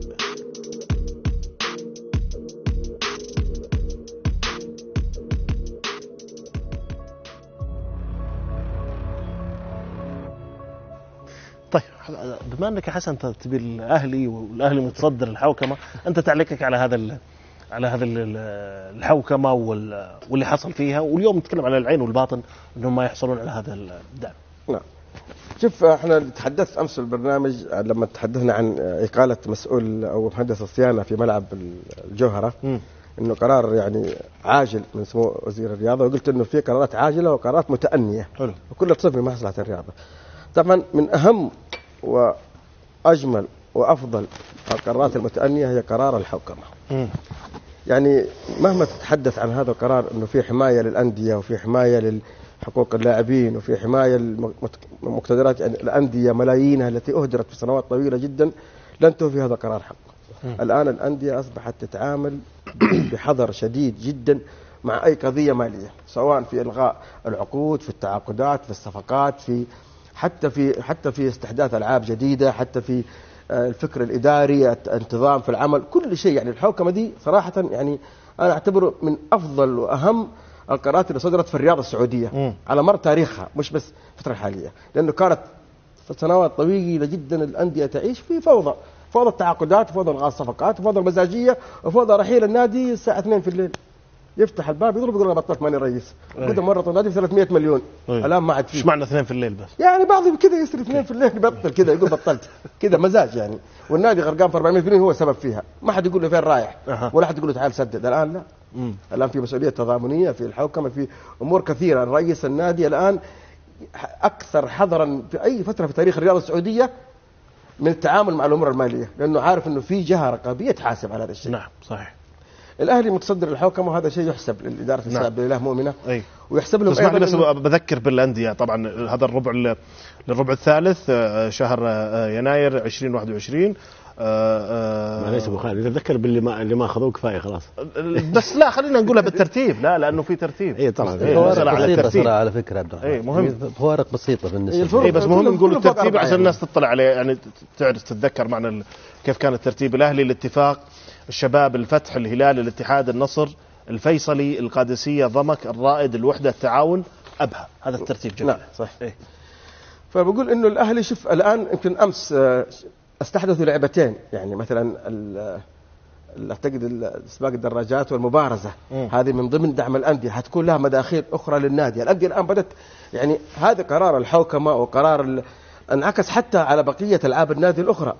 كانت العاب مهمله ومهمشه وما حد داري عنها واللاعب اللي عنده رغبة يروح نادي ما يحصل أحد يتمرن فيه الآن الأندية تتسابق. شوف صدر أنا قرأت قبل يومين معلومة إنه عدد الأندية اللي كانت فيها العاب مختلفة. يعني ماني فاكر المعلومة عشان ما أقول رقم غير صحيح بس ارتفع العدد إلى أضعاف. أي. الأندية أصبحت تتعامل مع هذه الألعاب. أي. اذا إحنا نتكلم عن قرار وزارة الرياضة. أنا ما زلت أكررها إنه قرار الحوكمة والمسؤولية التضامنية لرؤساء الأندية أنا أعتقد إنه أهم وأجمل وأفضل قرار صدر في تاريخ الرياضة السعودية. ممتاز. نيف أبو أبو ركان؟ أكيد قرار يعني متفق الجميع على أنه من أفضل القرارات فعلا يصب في النهاية في مصلحة التنظيم الإداري والمالي للأندية السعودية. وحفظ حقوق الأندية. وحفظ حقوق الأندية وحفظ حقوق حتى ال- ال- منسوبي الأندية سواء من إداريين أو لاعبين أو غيرهم. لذلك آه، حتى هذا فيه مد يد العون ومساعدة. للأندية أنها ما تستسلم لإغراءات الجماهير أو إغراءات المنافسة وتلاقي نفسها في النهاية متورطة في آه، أمور مالية آه، يعني سيئة جدا مثل السابق. لكن أنا أحب أضيف نقطة أو ملاحظة بسيطة. أتمنى أنه ما تكون ال- الحوكمة لمجرد الحوكمة يعني بحيث أنه بعض الأندية مثلا تنشئ ألعاب معينة لمجرد أنها تضيف لها نقاط. في ال- في آه، في تصنيف الحوكمة بحيث أنها ت- تستحق ال- ال- ال- ال- ال- الإعانة الحكومية الدعم. من الدعم الحكومي من أن منافسة يا يكون أن تستفيد بركات. كيف؟ لازم تكون ألعاب ومنافسة. ألعاب يفترض أيوه يفترض. يعني في لكن شروط. لكن آه، أتمنى أن ينعكس هالشيء هذا على منافسة الألعاب المختلفة للكرة السعودية. وهذا الشيء بيصب في النهاية مصلحة المنتخبات السعودية في الألعاب المختلفة. لكن ما في شك أنه كمشروع جدا رائع لمصلحة الأندية ولمصلحة الرياضة السعودية بكثره أحمد الفهيد من أي زاوية بتأخذ هذه الاستراتيجية والله يعني باختصار شديد والترتيب. إحنا العام ال- مو بالعام الماضي ال- ال- ال- الربع الما- الماضي الماضي إيه. كانوا اللي متجاوزين أربع أندية. الآن نتكلم اللي اخفقوا مم.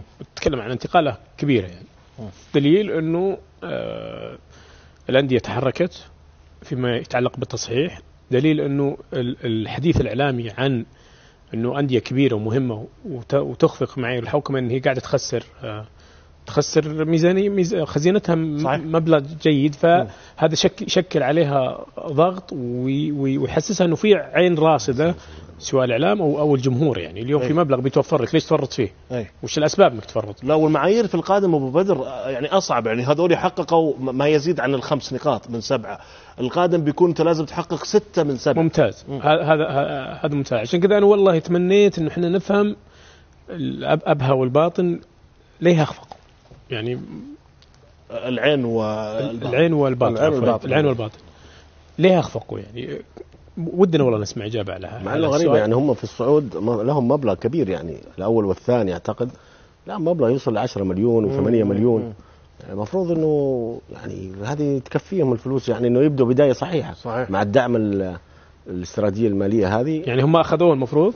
ما أدري عاد اخذوا ولا ما اخذوا ما أدري. بس أنا أقول لك يعني المفروض إنه إذا عندهم مبالغ زي هذه المفروض انه هم كانوا بدايتهم صحيحة مع الدعم الحالي اللي هو لدوري المحترفين إيه. كأندية الشهرية دي. المفروض الوضع مستقر. يعني والله إذا لهم يعني- صعود من, الموسم الماضي ما أخذوها إلى الآن مش- فإذا مشكله علامة استفهام ما أدري عن إيش مشكلة. الظاهر تصير الاتحادات هي اللي تحتاج حوكمة. الحين. ما أدري. يا بس اخذوا ما أنا اخذوا أتذكر حسب المصادر اللي إحنا ظهرنا فيها في فترة سابقة إلى 30 أكتوبر حسب ال- إذا ما ما نسيت يعني كانت كل الأندية ولا نادي عنده أي مستحق مالي سواء في وزارة الرياضة أو في اتحاد القدم. كانت كل المستحقات المالية. رجل الله بن صرح إيه، فيه كنت أنا خرجت صح فيك ذكرتني الله يذكرك صحيح. شهادة. إحنا أنا قلت كمصادر ومن بكرة كان دخل تداخل معنا الدكتور رجل الله السلمي وكيل الوزير. جيد. شؤون الإعلام وتكلم على أنه فعلا الأندية مستحقة أو كل المبالغ اللي للأندية عند الوزارة أو عند اتحاد القدم كانت مسلمة كاملة، فبالتالي الأندية أكيد مفترض على كلام أبو خالد وهذا السؤال أنه مثل العين والباطن استلموا آه، آه، مكافاه الصعود. وشوف الآن يا أبو خالد عشان بس نربطها بالحوكمة ممكن تحدثنا في الموضوع ده في حلقتين ماضيه أنه عدد المدربين المقالين عدد اللاعبين الملغيه عقودهم يعني خفت بنسبة على الأقل نسبة كبيرة جدا عن المواسم الماضية. ليه؟ لأنه أصبحت في مسؤولية مالية على رئيس والله النادي مدربين صايرين في السعود الغاء عقود نعم. كم الغاء عقد مدرب الحين؟ أربعة؟ أربعة. لكن تخيل الموسم الماضي إلى إلى الجولة إلى الجولة التاسعة أو العاشرة كان تسعة مدربين مقالين. إي بس يعني يعني حتى أربعة حتى اللاعبين حتى اللاعبين. يعني في أندية في أندية كانت تغير من من من الفترة الصيفية للفترة الشتوية ستة سبعة لاعبين أجانب. ود ترى في أندية إلى الآن تبغى؟ إيه لا بعض الأندية تبغى تغير مدرب بس ما بس بس, ما مسؤول أنت إيه، مسؤول. إيه. أنت مسؤول الآن. أنت الآن أي مبالغ ماليه تحملها رئيس النادي. بناء على المسؤولية التضامنية اللي اللي وقع يعني حسب الآلية الجديدة لل- للأندية. الآن ما ما الفوضى انتهت. شوف أنا أقول لك بعد سنة من الآن لن تجد أو سنتين على الأقل خلينا ناخذ سنتين لن تجد شكاوي في الفيفا على الأندية السعودية. لن تجد مطالبات سماسرة خارجيين يطالبون الأندية السعودية بمبالغ كبيرة. أمور كثيرة ستختفي بوجود هذه الحكمه صحيح. اتفق معك. خلينا نروح الجولة الثالثة عشر. طبعا نتابع تقرير عن مشاهد الجولة آه، اللي مضت وكل التفاصيل اللي كانت موجودة في هذه الجولة.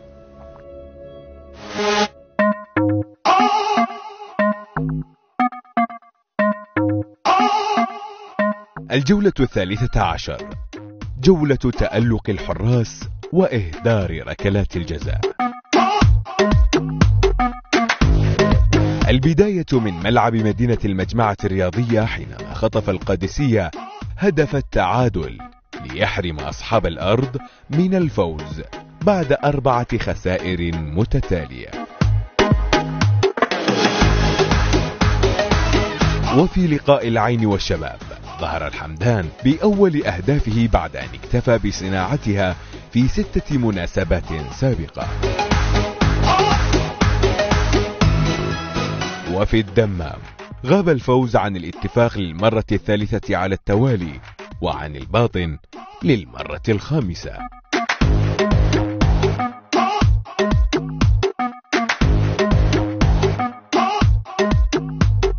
على مدينة الأمير عبد الله بن جلوي في الأحساء كان الحدث الأبرز هو حضور الحكم الأجنبي في لقاء الفتح والتعاون للمرة الثانية في الدوري بعد أن قاد ديربي الرياض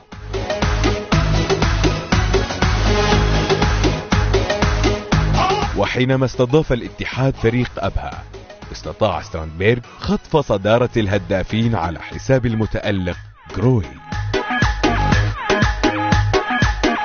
وفي مباراة ضمك والوحدة تأخرت صافرة انطلاق الشوط الثاني بسبب تعطل تقنية الفيديو قبل أن يتم استبدال الشاشة.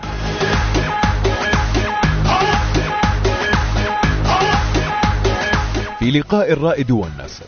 استبدل الحكم الكرة بعد عشرة دقائق مثيرة من اللقاء. استحوذت تقنية الفيديو على أغلب أوقاتها لتلغي هدفا نصراويا وتحتسب ركلة جزاء للرائد. قمة الجولة شهدت عودة المعيوف وغياب العويس في مباراة تألق فيها حراس المرمى لكلا الفريقين. الجولة الثالثة عشر لم تبتسم لأصحاب الأرض حيث لم يتمكن أي فريق من الفوز على أرضه. كما أن الحظ لم يلازم المهاجمين والذين أضاعوا خمسة ركلات جزاء في هذه الجولة.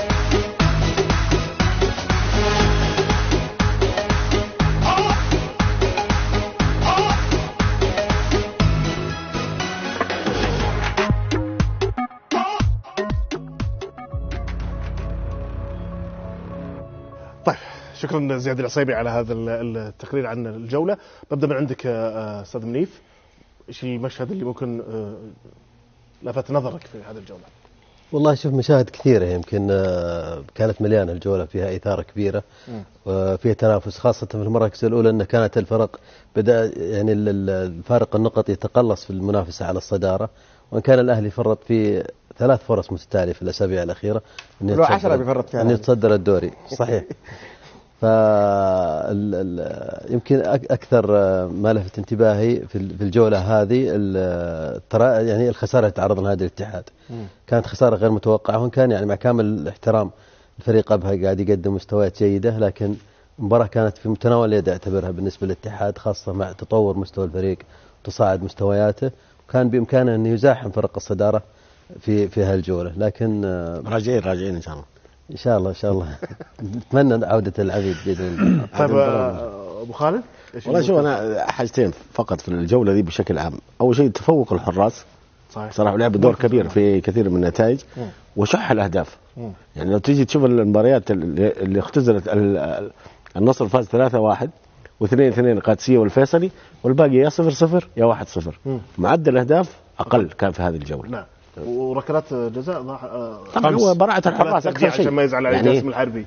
ركلات ترجيح ضاعت ترجع النصر لبراعه فاز الحراس 1-0 صراحة ما أنا أقول لك. خالد. 1-0 النصر فاز على الرائد. مو ترجيح آه، لا ركلات في جزاء. عفوا صادق. في في نتيجة 3 1 اللي كانت الشباب الشباب. الشباب علينا. فاز. عفوا الشباب. إيه. صحيح. 3 1 و2 2 نعم. هي أعلى معدل في مباراة في مباراتين. الباقي مباريات كلها 0 0 1 0 ممتاز. أغلبها يعني معنا ممتاز. آه، حسن؟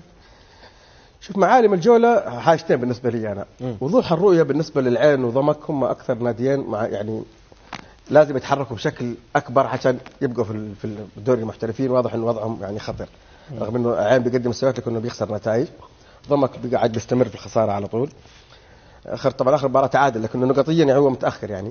النقطة الأخرى هو غياب الهدافين الرئيسيين لل- للدوري السعودي أو للسنوات الأخيرة عمر السومة وجوميز عن التهديف. حمد الله حمد حمد الله طبعا لأنه ما ما شارك يعني بالإصابة لكن اللي بشاركوا غيابهم عن التهديف. وهذه يعني طبعا آه، تفتح باب تساؤلات كبيرة يعني مستويات متراجعة للنجمين هم عودونا على كل أسبوع انه ينثروا الفرح لجماهيرهم. عجبني جدا جدا مهاجم فريق أبها متصدر ال- الهدافين لاعب ممتاز جدا لاعب يعني فعلا يقدم لك إنه لاعب مهاجم شرس. هذه النوعية من المهاجمين أنا أنا أنا احبه وأعتقد إنه قد يقدر يمكن ينجح مع مع أكثر من نادي آخر غير أبها. ممتاز. أبو بدر؟ أنا والله بختار عبد الله المعيوف. يعني شوف عبد الله المعيوف يعني يغيب قرابة 45 يوم بسبب الإصابة. ويعني شبه هو شبه غايب عن الموسم. ثم يعود في مباراة كبيرة ضد الأهلي. ومو لأنه الأهلي كبير لا أيضا لأنه الأهلي ينافسك هو المنافس الحقيقي لك. ثم تكون أنت يعني آه، بالنسبة للهلال رجل آه، رقم واحد في المباراة. الحقيقة إنه ما كان حارس مرمى الهلال هو كان حارس الهلال البارح. عبد الله المعيوف. يعني أنقذ الهلال من خسارة. نعم. أنقذ الهلال فعليا من خسارة يعني. وين وين وين يعني وين أدخلنا عامل الحظ والصدفة في ذلك فضربة الجزاء تصدي لها مو حظ ولا صدفة يعني. نعم. هي براعة بالتأكيد. آه، عبد الله المعيوف كان آه، يعني يبرهن إنه آه، حارس رائع صحيح. وإنه آه، بالنسبة للهلاليين هو سد سد منيع. يقابله بصراحة آه، لاعب شاب رائع حارس الأهلي مح- محمد الرب- آه، الربيع اسمه ها؟ اي ربيعي ربيعي ولا الربيعي؟ الربيعي. الربيعي محمد الربيعي. آه تألق صراحة مع المباراة. بالنسبة لحارس شاب مثله يعني كبير عليه. كبيرة لا في حساسيتها ولا في قيمتها ولا في توقيتها ولا إنها بين يعني ضد نادي مثل الهلال. فكان متألق حقيقة وساعد في أنه الأهلي أيضا يخرج من. من المباراة متعادل. ممتاز. طيب خلونا إحنا نشوف كلاسيكو طبعا الأهلي والهلال. كيف تابع الجمهور هذه المواجهة مع ال- العزيز عبد العزيز العبدان؟ طبعا العزيز العبدان أبارك له آه، زواجه آه، بكرة بيكون زواج المميز عبد العزيز عبد العزيز العبدان. ومع ذلك راح وعمل هذا التقرير فيما يخص هذه المباراة مع الجمهور لمتابعة هذه المباراة الكبيرة. خلينا نشوف.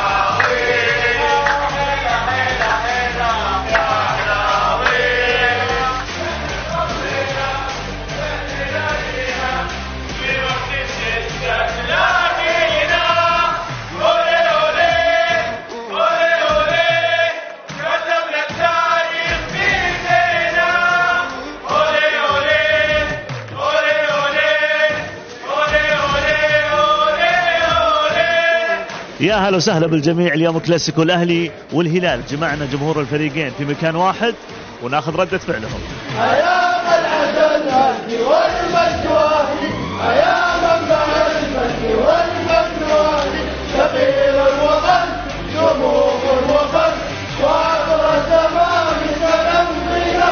بدأت المباراة. وين تمضون معا؟ وين تمضي؟ وال- والأهلي والهلال قدام؟ لا إن شاء الله فايزين إن شاء الله. بإذن الله. بإذن الله.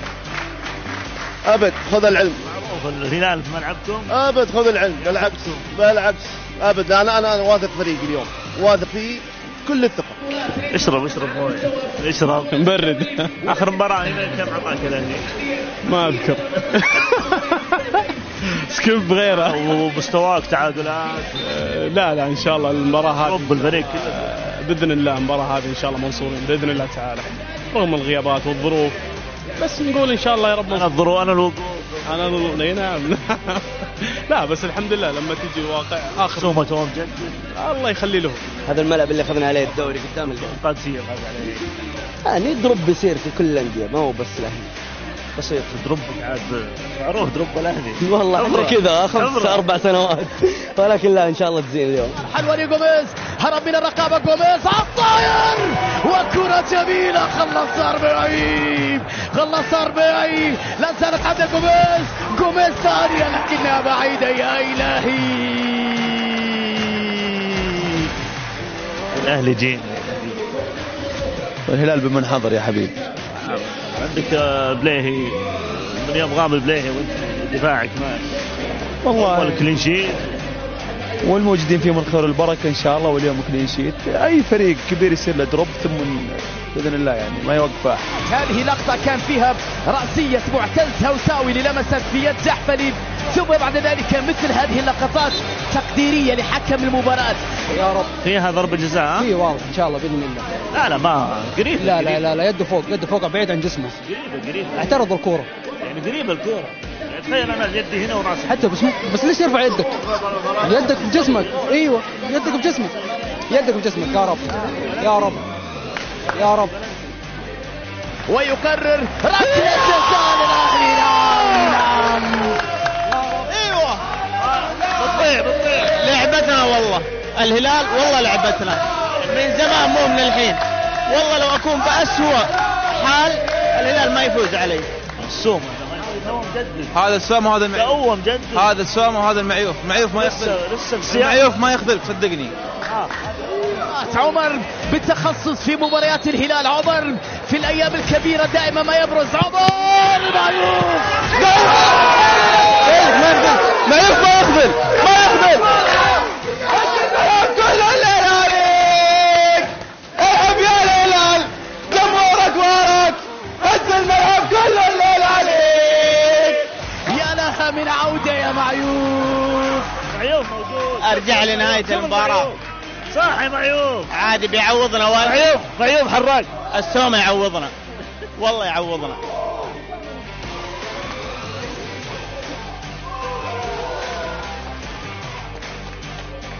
تجي بتجي إن شاء الله تجي بتجي بتجي.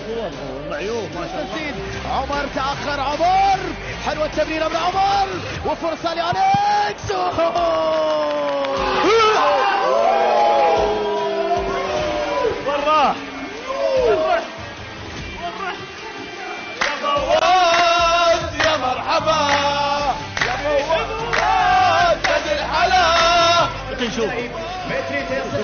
بعد الاصابه بإذن الله.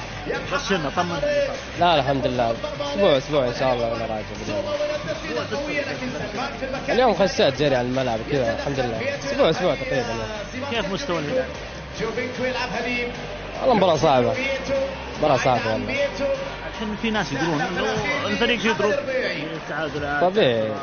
صادق أو طبيعي إنه يعني فيه لا لا. دروب دروب طبيعي. اللي قاعد يصير اللي قاعد يصير. طبيعي. طبيعي. اللي قاعد يصير طبيعي. ثلاث بطولات. لا. لا هلالي من زمان. إيه، من زمان هلال. من قبل نهاية الأمر. والله طموح كان الحمد لله. عمر يحاول مع الأسمري عمر في مكان خطير. عمر يحاول يمر والكرة تمريرة باتجاه الأسمري ضاعت ضاعت اللقطة الأخيرة. استنى عبد العزيز اصبر الله يرحم أمك إيش فيه إيش فيه يا ساتر يا ساتر يا ساتر يا ساتر. صالح يصل قبل الجميع. صالح يحاول المرور تغطية والتدخل أمامه ثم بعد ذلك تعطير من الحكم. وفي وجود إشارة من حكم المساعد بوجود ضربة مرمى على ما يبدو يطالب بركلة جزاء. أبغى حقي ما أبغى شيء. أبغى حقي. التحكيم السعودي إلى متى؟ إلى متى؟ إلى متى التحكيم السعودي؟ من الآخر كم بلنتي للهلال يرفض ولغيرنا ياخذ زعلانين يقولون بلنتي لا والله مو بلنتي. صراحة والله لو بلنتي لو أقول بلنتي. تلامس في تلامس بس لو تلاحظ رجول فييتو وين؟ جاي جاي يشوت الكورة هذاك حط رجوله رجول لا فييتو لا كذا لا لا لا ما هي بلنتي لا ابدا لا لا. ولسه في جول. ما زلت أقول. انتهى. صفر وبكذا انتهت المباراة بتعادل الفريقين صفر صفر.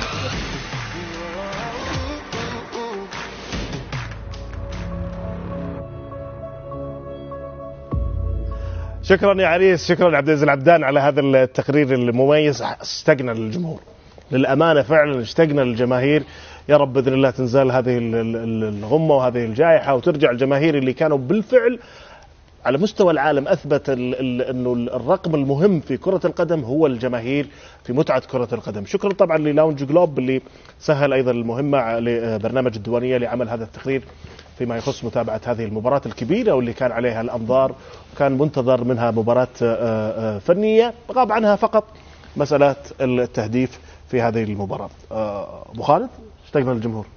طبعا كيف؟ اللعيبة طفشوا أنا ما اكلمك بس لعيبة في العالم طفشان اي اي تغير حقيقة. يعني متعة الكرة تغير. المباريات هذه الج- الحضور الجماهيري يدي تجديد يدي حماس يدي أشياء كثيرة. ترى وعامل مهم أصلا كثير من الأندية. يعني لاحظ في أندية كثير من اللي تعتمد على جمهورها كثير وتأثيره تأثرت صراحة نتائجها. على مستوى العالم أكلمك مو نعم. بس على نعم. يعني محلي ولا شيء لكن على مستوى العالم العامل الجماهيري قوة قوة لكثير من الأندية يعني. صحيح. على مستوى العالم يعني في مسيرتها.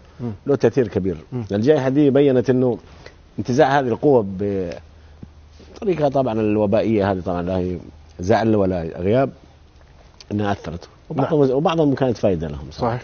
آه، حتى عبد العزيز العبدان يعني فقد مسألة الجمهور يعني آه، المباراة فعلا من خلال ردود الفعل أبو راكان كانت مباراة آه، آه، كبيرة ب- بالمستوى الفني بس كان غايب عنها مسألة التهديف صح أول شيء مبروك لعبد العزيز الله يوفقه إن شاء الله يكتب الخير يستاهل الله. العريس آه الشيء الثاني أحيي عبد العزيز على الستايل اللي اخذه في اصطياد اللحظات ال- ال- والانفعالات الجمهور واللحظات الساخنة اللي دائما يعني ذكي وطريقة تعامله وتعاطيه مع الجمهور في هاللحظات جدا مميزة.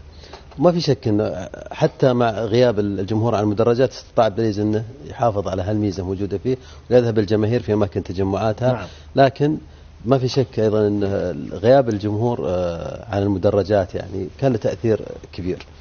آه، قبل فترة كان في حديث عن ممكن أعتقد انه رئيس اتحاد القدم الأستاذ ياسر مسحل تحدث عن إمكانية عودة الجمهور وإن كان بشكل تدريجي نسبي. وفق الاحترازات التطبيقه. يعني اللي المطبقة أتمنى أنها تكون على الأقل حتى لو آه، يعني بشكل أسرع حتى لو كانت نسبة قليلة من الجمهور لأن أكيد وجود الجماهير بيكون عامل إيجابي جدا على أعطاء اللاعبين وعلى شكل المباريات ككل بالتأكيد. طيب خلينا نروح لفقرتنا الأسبوعية اللي دائما نتابع فيها أجمل هدف من اختيار محللي الدوري السعودي. ها؟ أعتقد أن هدف ستراندبيرغ لاعب نادي أبها في مرمى الاتحاد هو الهدف الأفضل في هذه الجولة. أفضل هدف كارلوس؟ أفضل هدف اخترت هدف لاعب ستراندبيرج ولاعب نادي أبها. هدف لاعب فريق أبها كارلوس ستراندبيرغ كأفضل هدف في الجولة الثالثة عشر من دوري الأمير محمد بن سلمان. اللاعب كارلوس ستراندبيرغ أمام الاتحاد من خلال باص طويل رائع. واستلام مميز وتصرف جميل. في نظري أيضا هو أفضل أهداف الجولة. الكرة ملعوبة إلى سترانبيرغ ومحاولة! الله!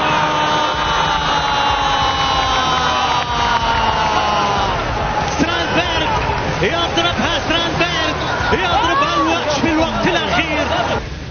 أفضل هدف الصليهم لاعب النصر أجمل هدف لعبد المجيد الصليهم نجم نادي النصر. أفضل هدف في هذه الجولة هدف عبد المجيد الصليهم لاعب فريق نادي النصر بالأمس في الرائي. وضغط المرابي مرابط مرابط عرض أيمن مرابط عالية عالية فراس ينزل الكرة. محاولة ترجع للصليهم. أخيرا أخيرا النصر يسجل. أخيرا النصر يسجل. من تيكي تاكا نصراوية. حمد لله على السلامة يا عبد المجيد. حمد لله على السلامة يا صليهم أفضل هدف في الجولة. صراحة لأن هناك قلة في الأهداف الجميلة ولكن أنا برشح هدف القادسية الثاني من وليد الشنقيطي آه، لأنه هدف كان صعب جدا وفي توقيت مهم في المباراة. جاء اليمين يحاول اللعب العرضية نيجيري يلعبها عرضية ممتازة الرأسية! الله! الله! الله!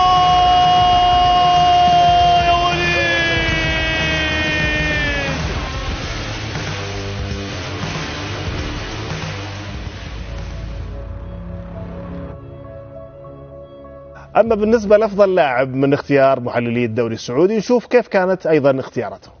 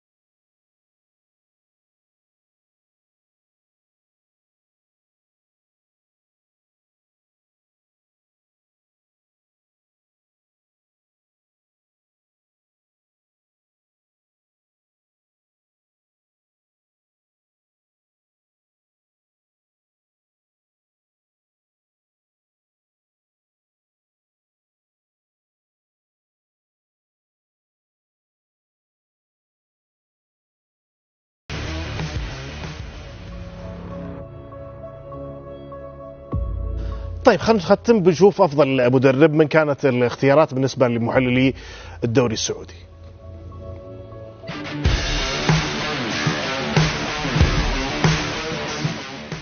أفضل مدرب في هذه الجولة؟ أنا أرشح مدرب نادي التعاون كارترون أعتقد أنه مدرب فريق التعاون كارتيرون هو أفضل مدرب نظير المستويات التي تتطور أسبوع بعد أسبوع. أفضل مدرب كالتيرون مدرب فريق نادي التعاون. في هذه الجولة 13 اخترت أفضل مدرب مدرب نادي أبها عبد الرزاق الشافعي أفضل مدرب عبد الرزاق الشعبي. أفضل مدرب في الجولة مدرب نادي الأهلي السيد فلادان. المدرب فلادان مدرب النادي الأهلي قدم مباراة كبيرة أمام الهلال من خلال أسلوب لعب مناسب. وأيضا اختيار تشكيلة آه، مثلى. أفضل مدرب هرنانديز مدرب الشباب. أعتقد أن مدرب الشباب هرنانديز هو المدرب الأفضل في هذه الجولة.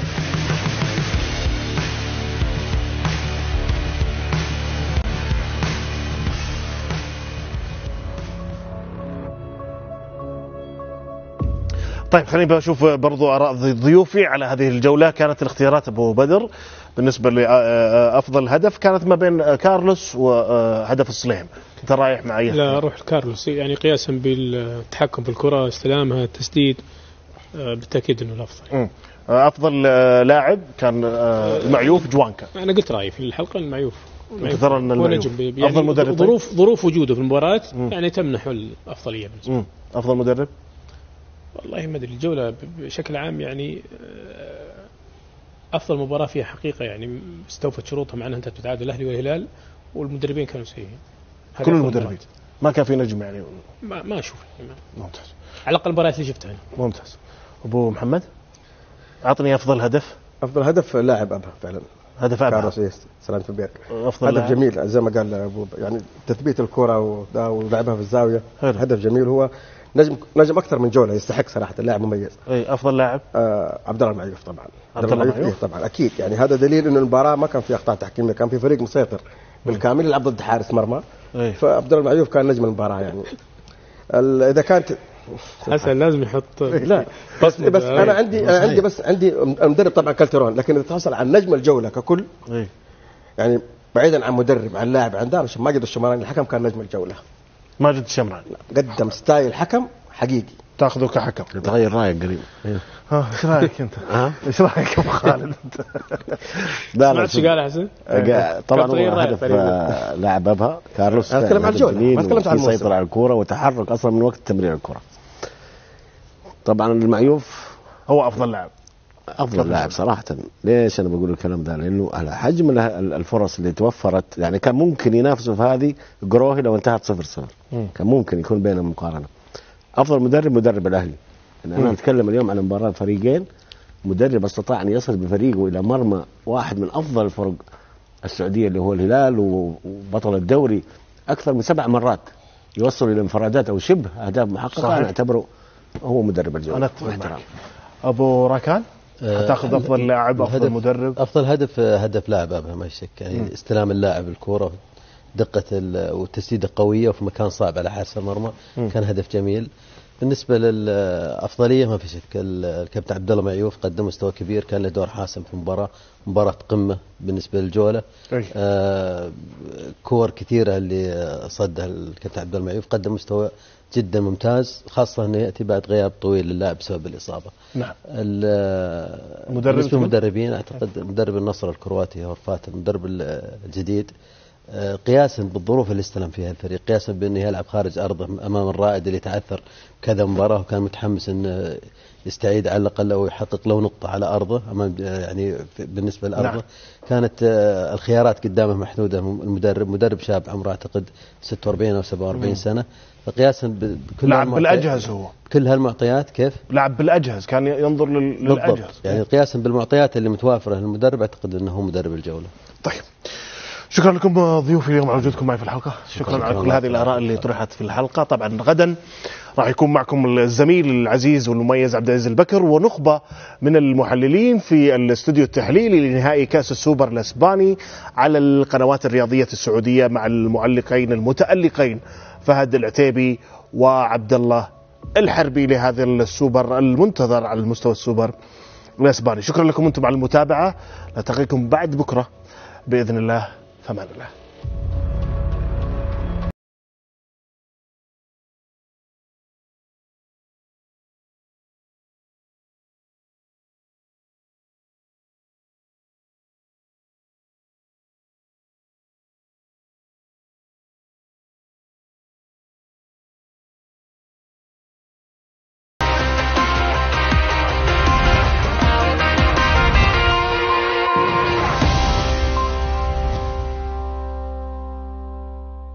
What's up, guys? My name is Max Stanton, aka Max of Arabia. And I'm half English, half American content creator. I'm here for adventures, I'm here to explore, I'm here to meet some of the amazing Saudi people. Hmm. That make this country so beautiful. Stay tuned.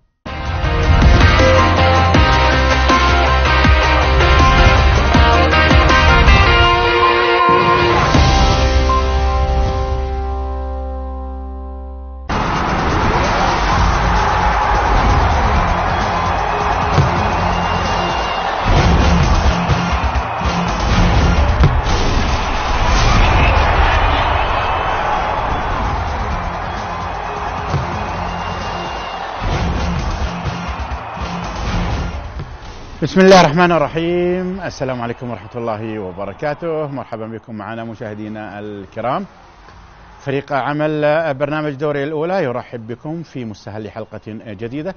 نأمل إن شاء الله أن تكون متجددة من البرنامج. سنحاول خلال ساعة ونصف القادمة أن نضعكم في آخر تطورات مسابقة الدوري. الأمير محمد بن سلمان لأندية الدرجة الأولى. إلى أبرز عناوين هذه الحلقة.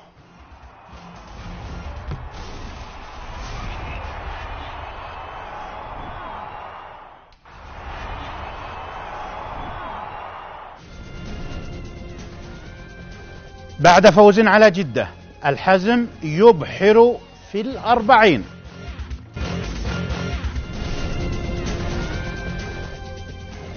والشعلة أضاء دير بالخرج.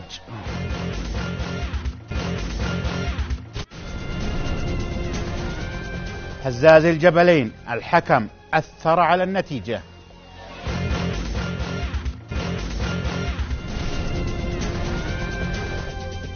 عرعر. أحضر حكيم.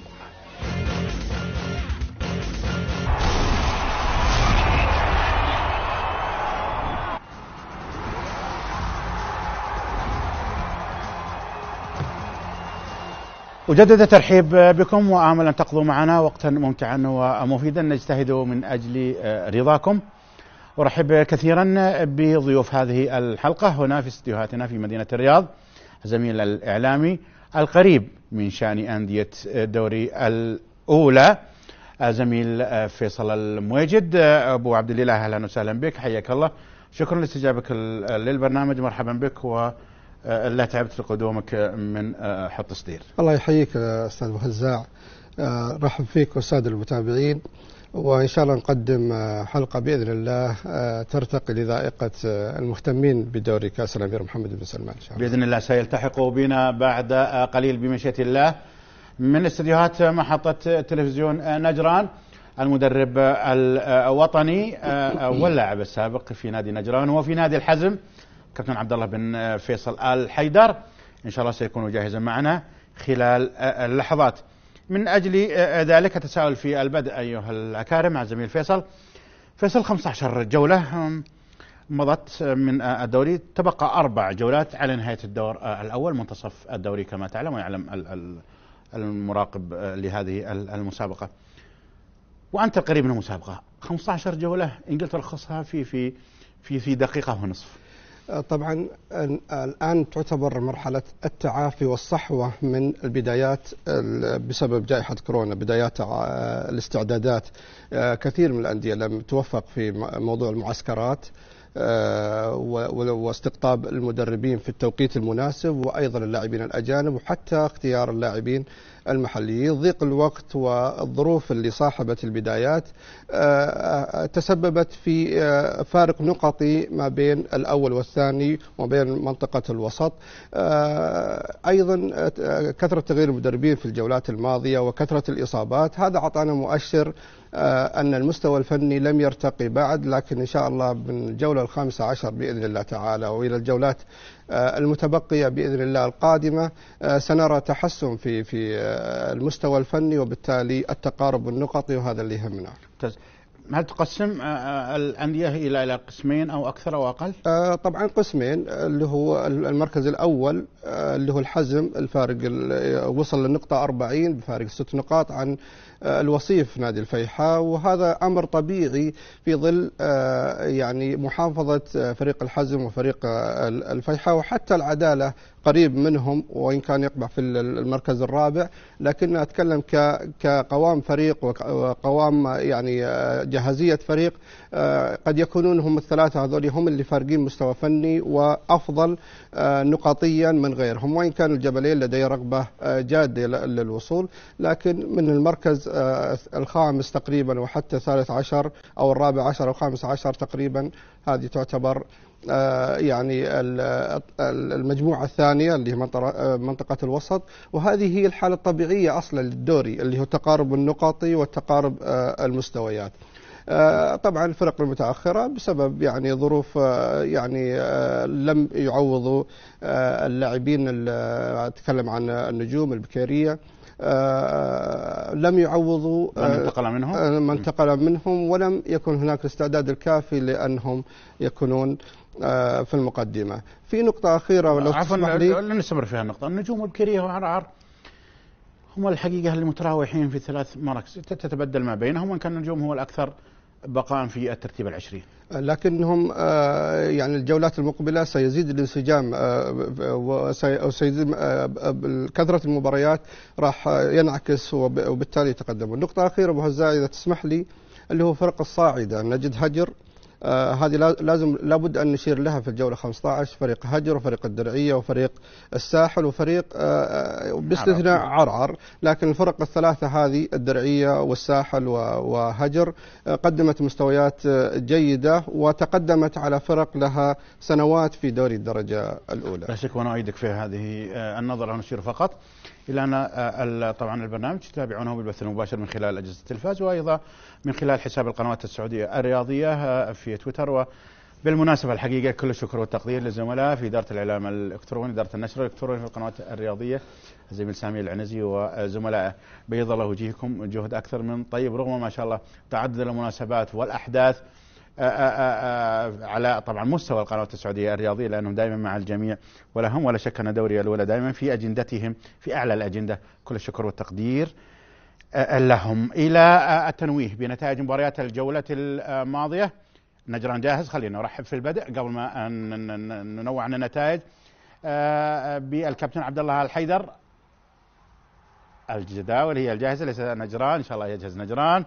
على كل آآ آآ إلى النتائج في الأسبوع الخامس عشر فقد جاءت نتائج المباريات العشر عن النحو التالي.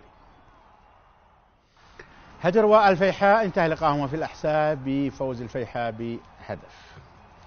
الدرعية والطائي فوز للطائي بهدفين دون رد. عرعر والساحل فوز لعرعر بثلاثة أهداف مقابل هدفين وهو الفوز الثالث لعرعر في المسابقة. نجران والعدالة فاز نجران بثلاثة أهداف مقابل هدفين وأحد فاز على البكرية بهدفين دون رد. الثقبة فاز على الجبلين بثلاثة أهداف مقابل هدفين والنجوم فاز على الجيل في لقاء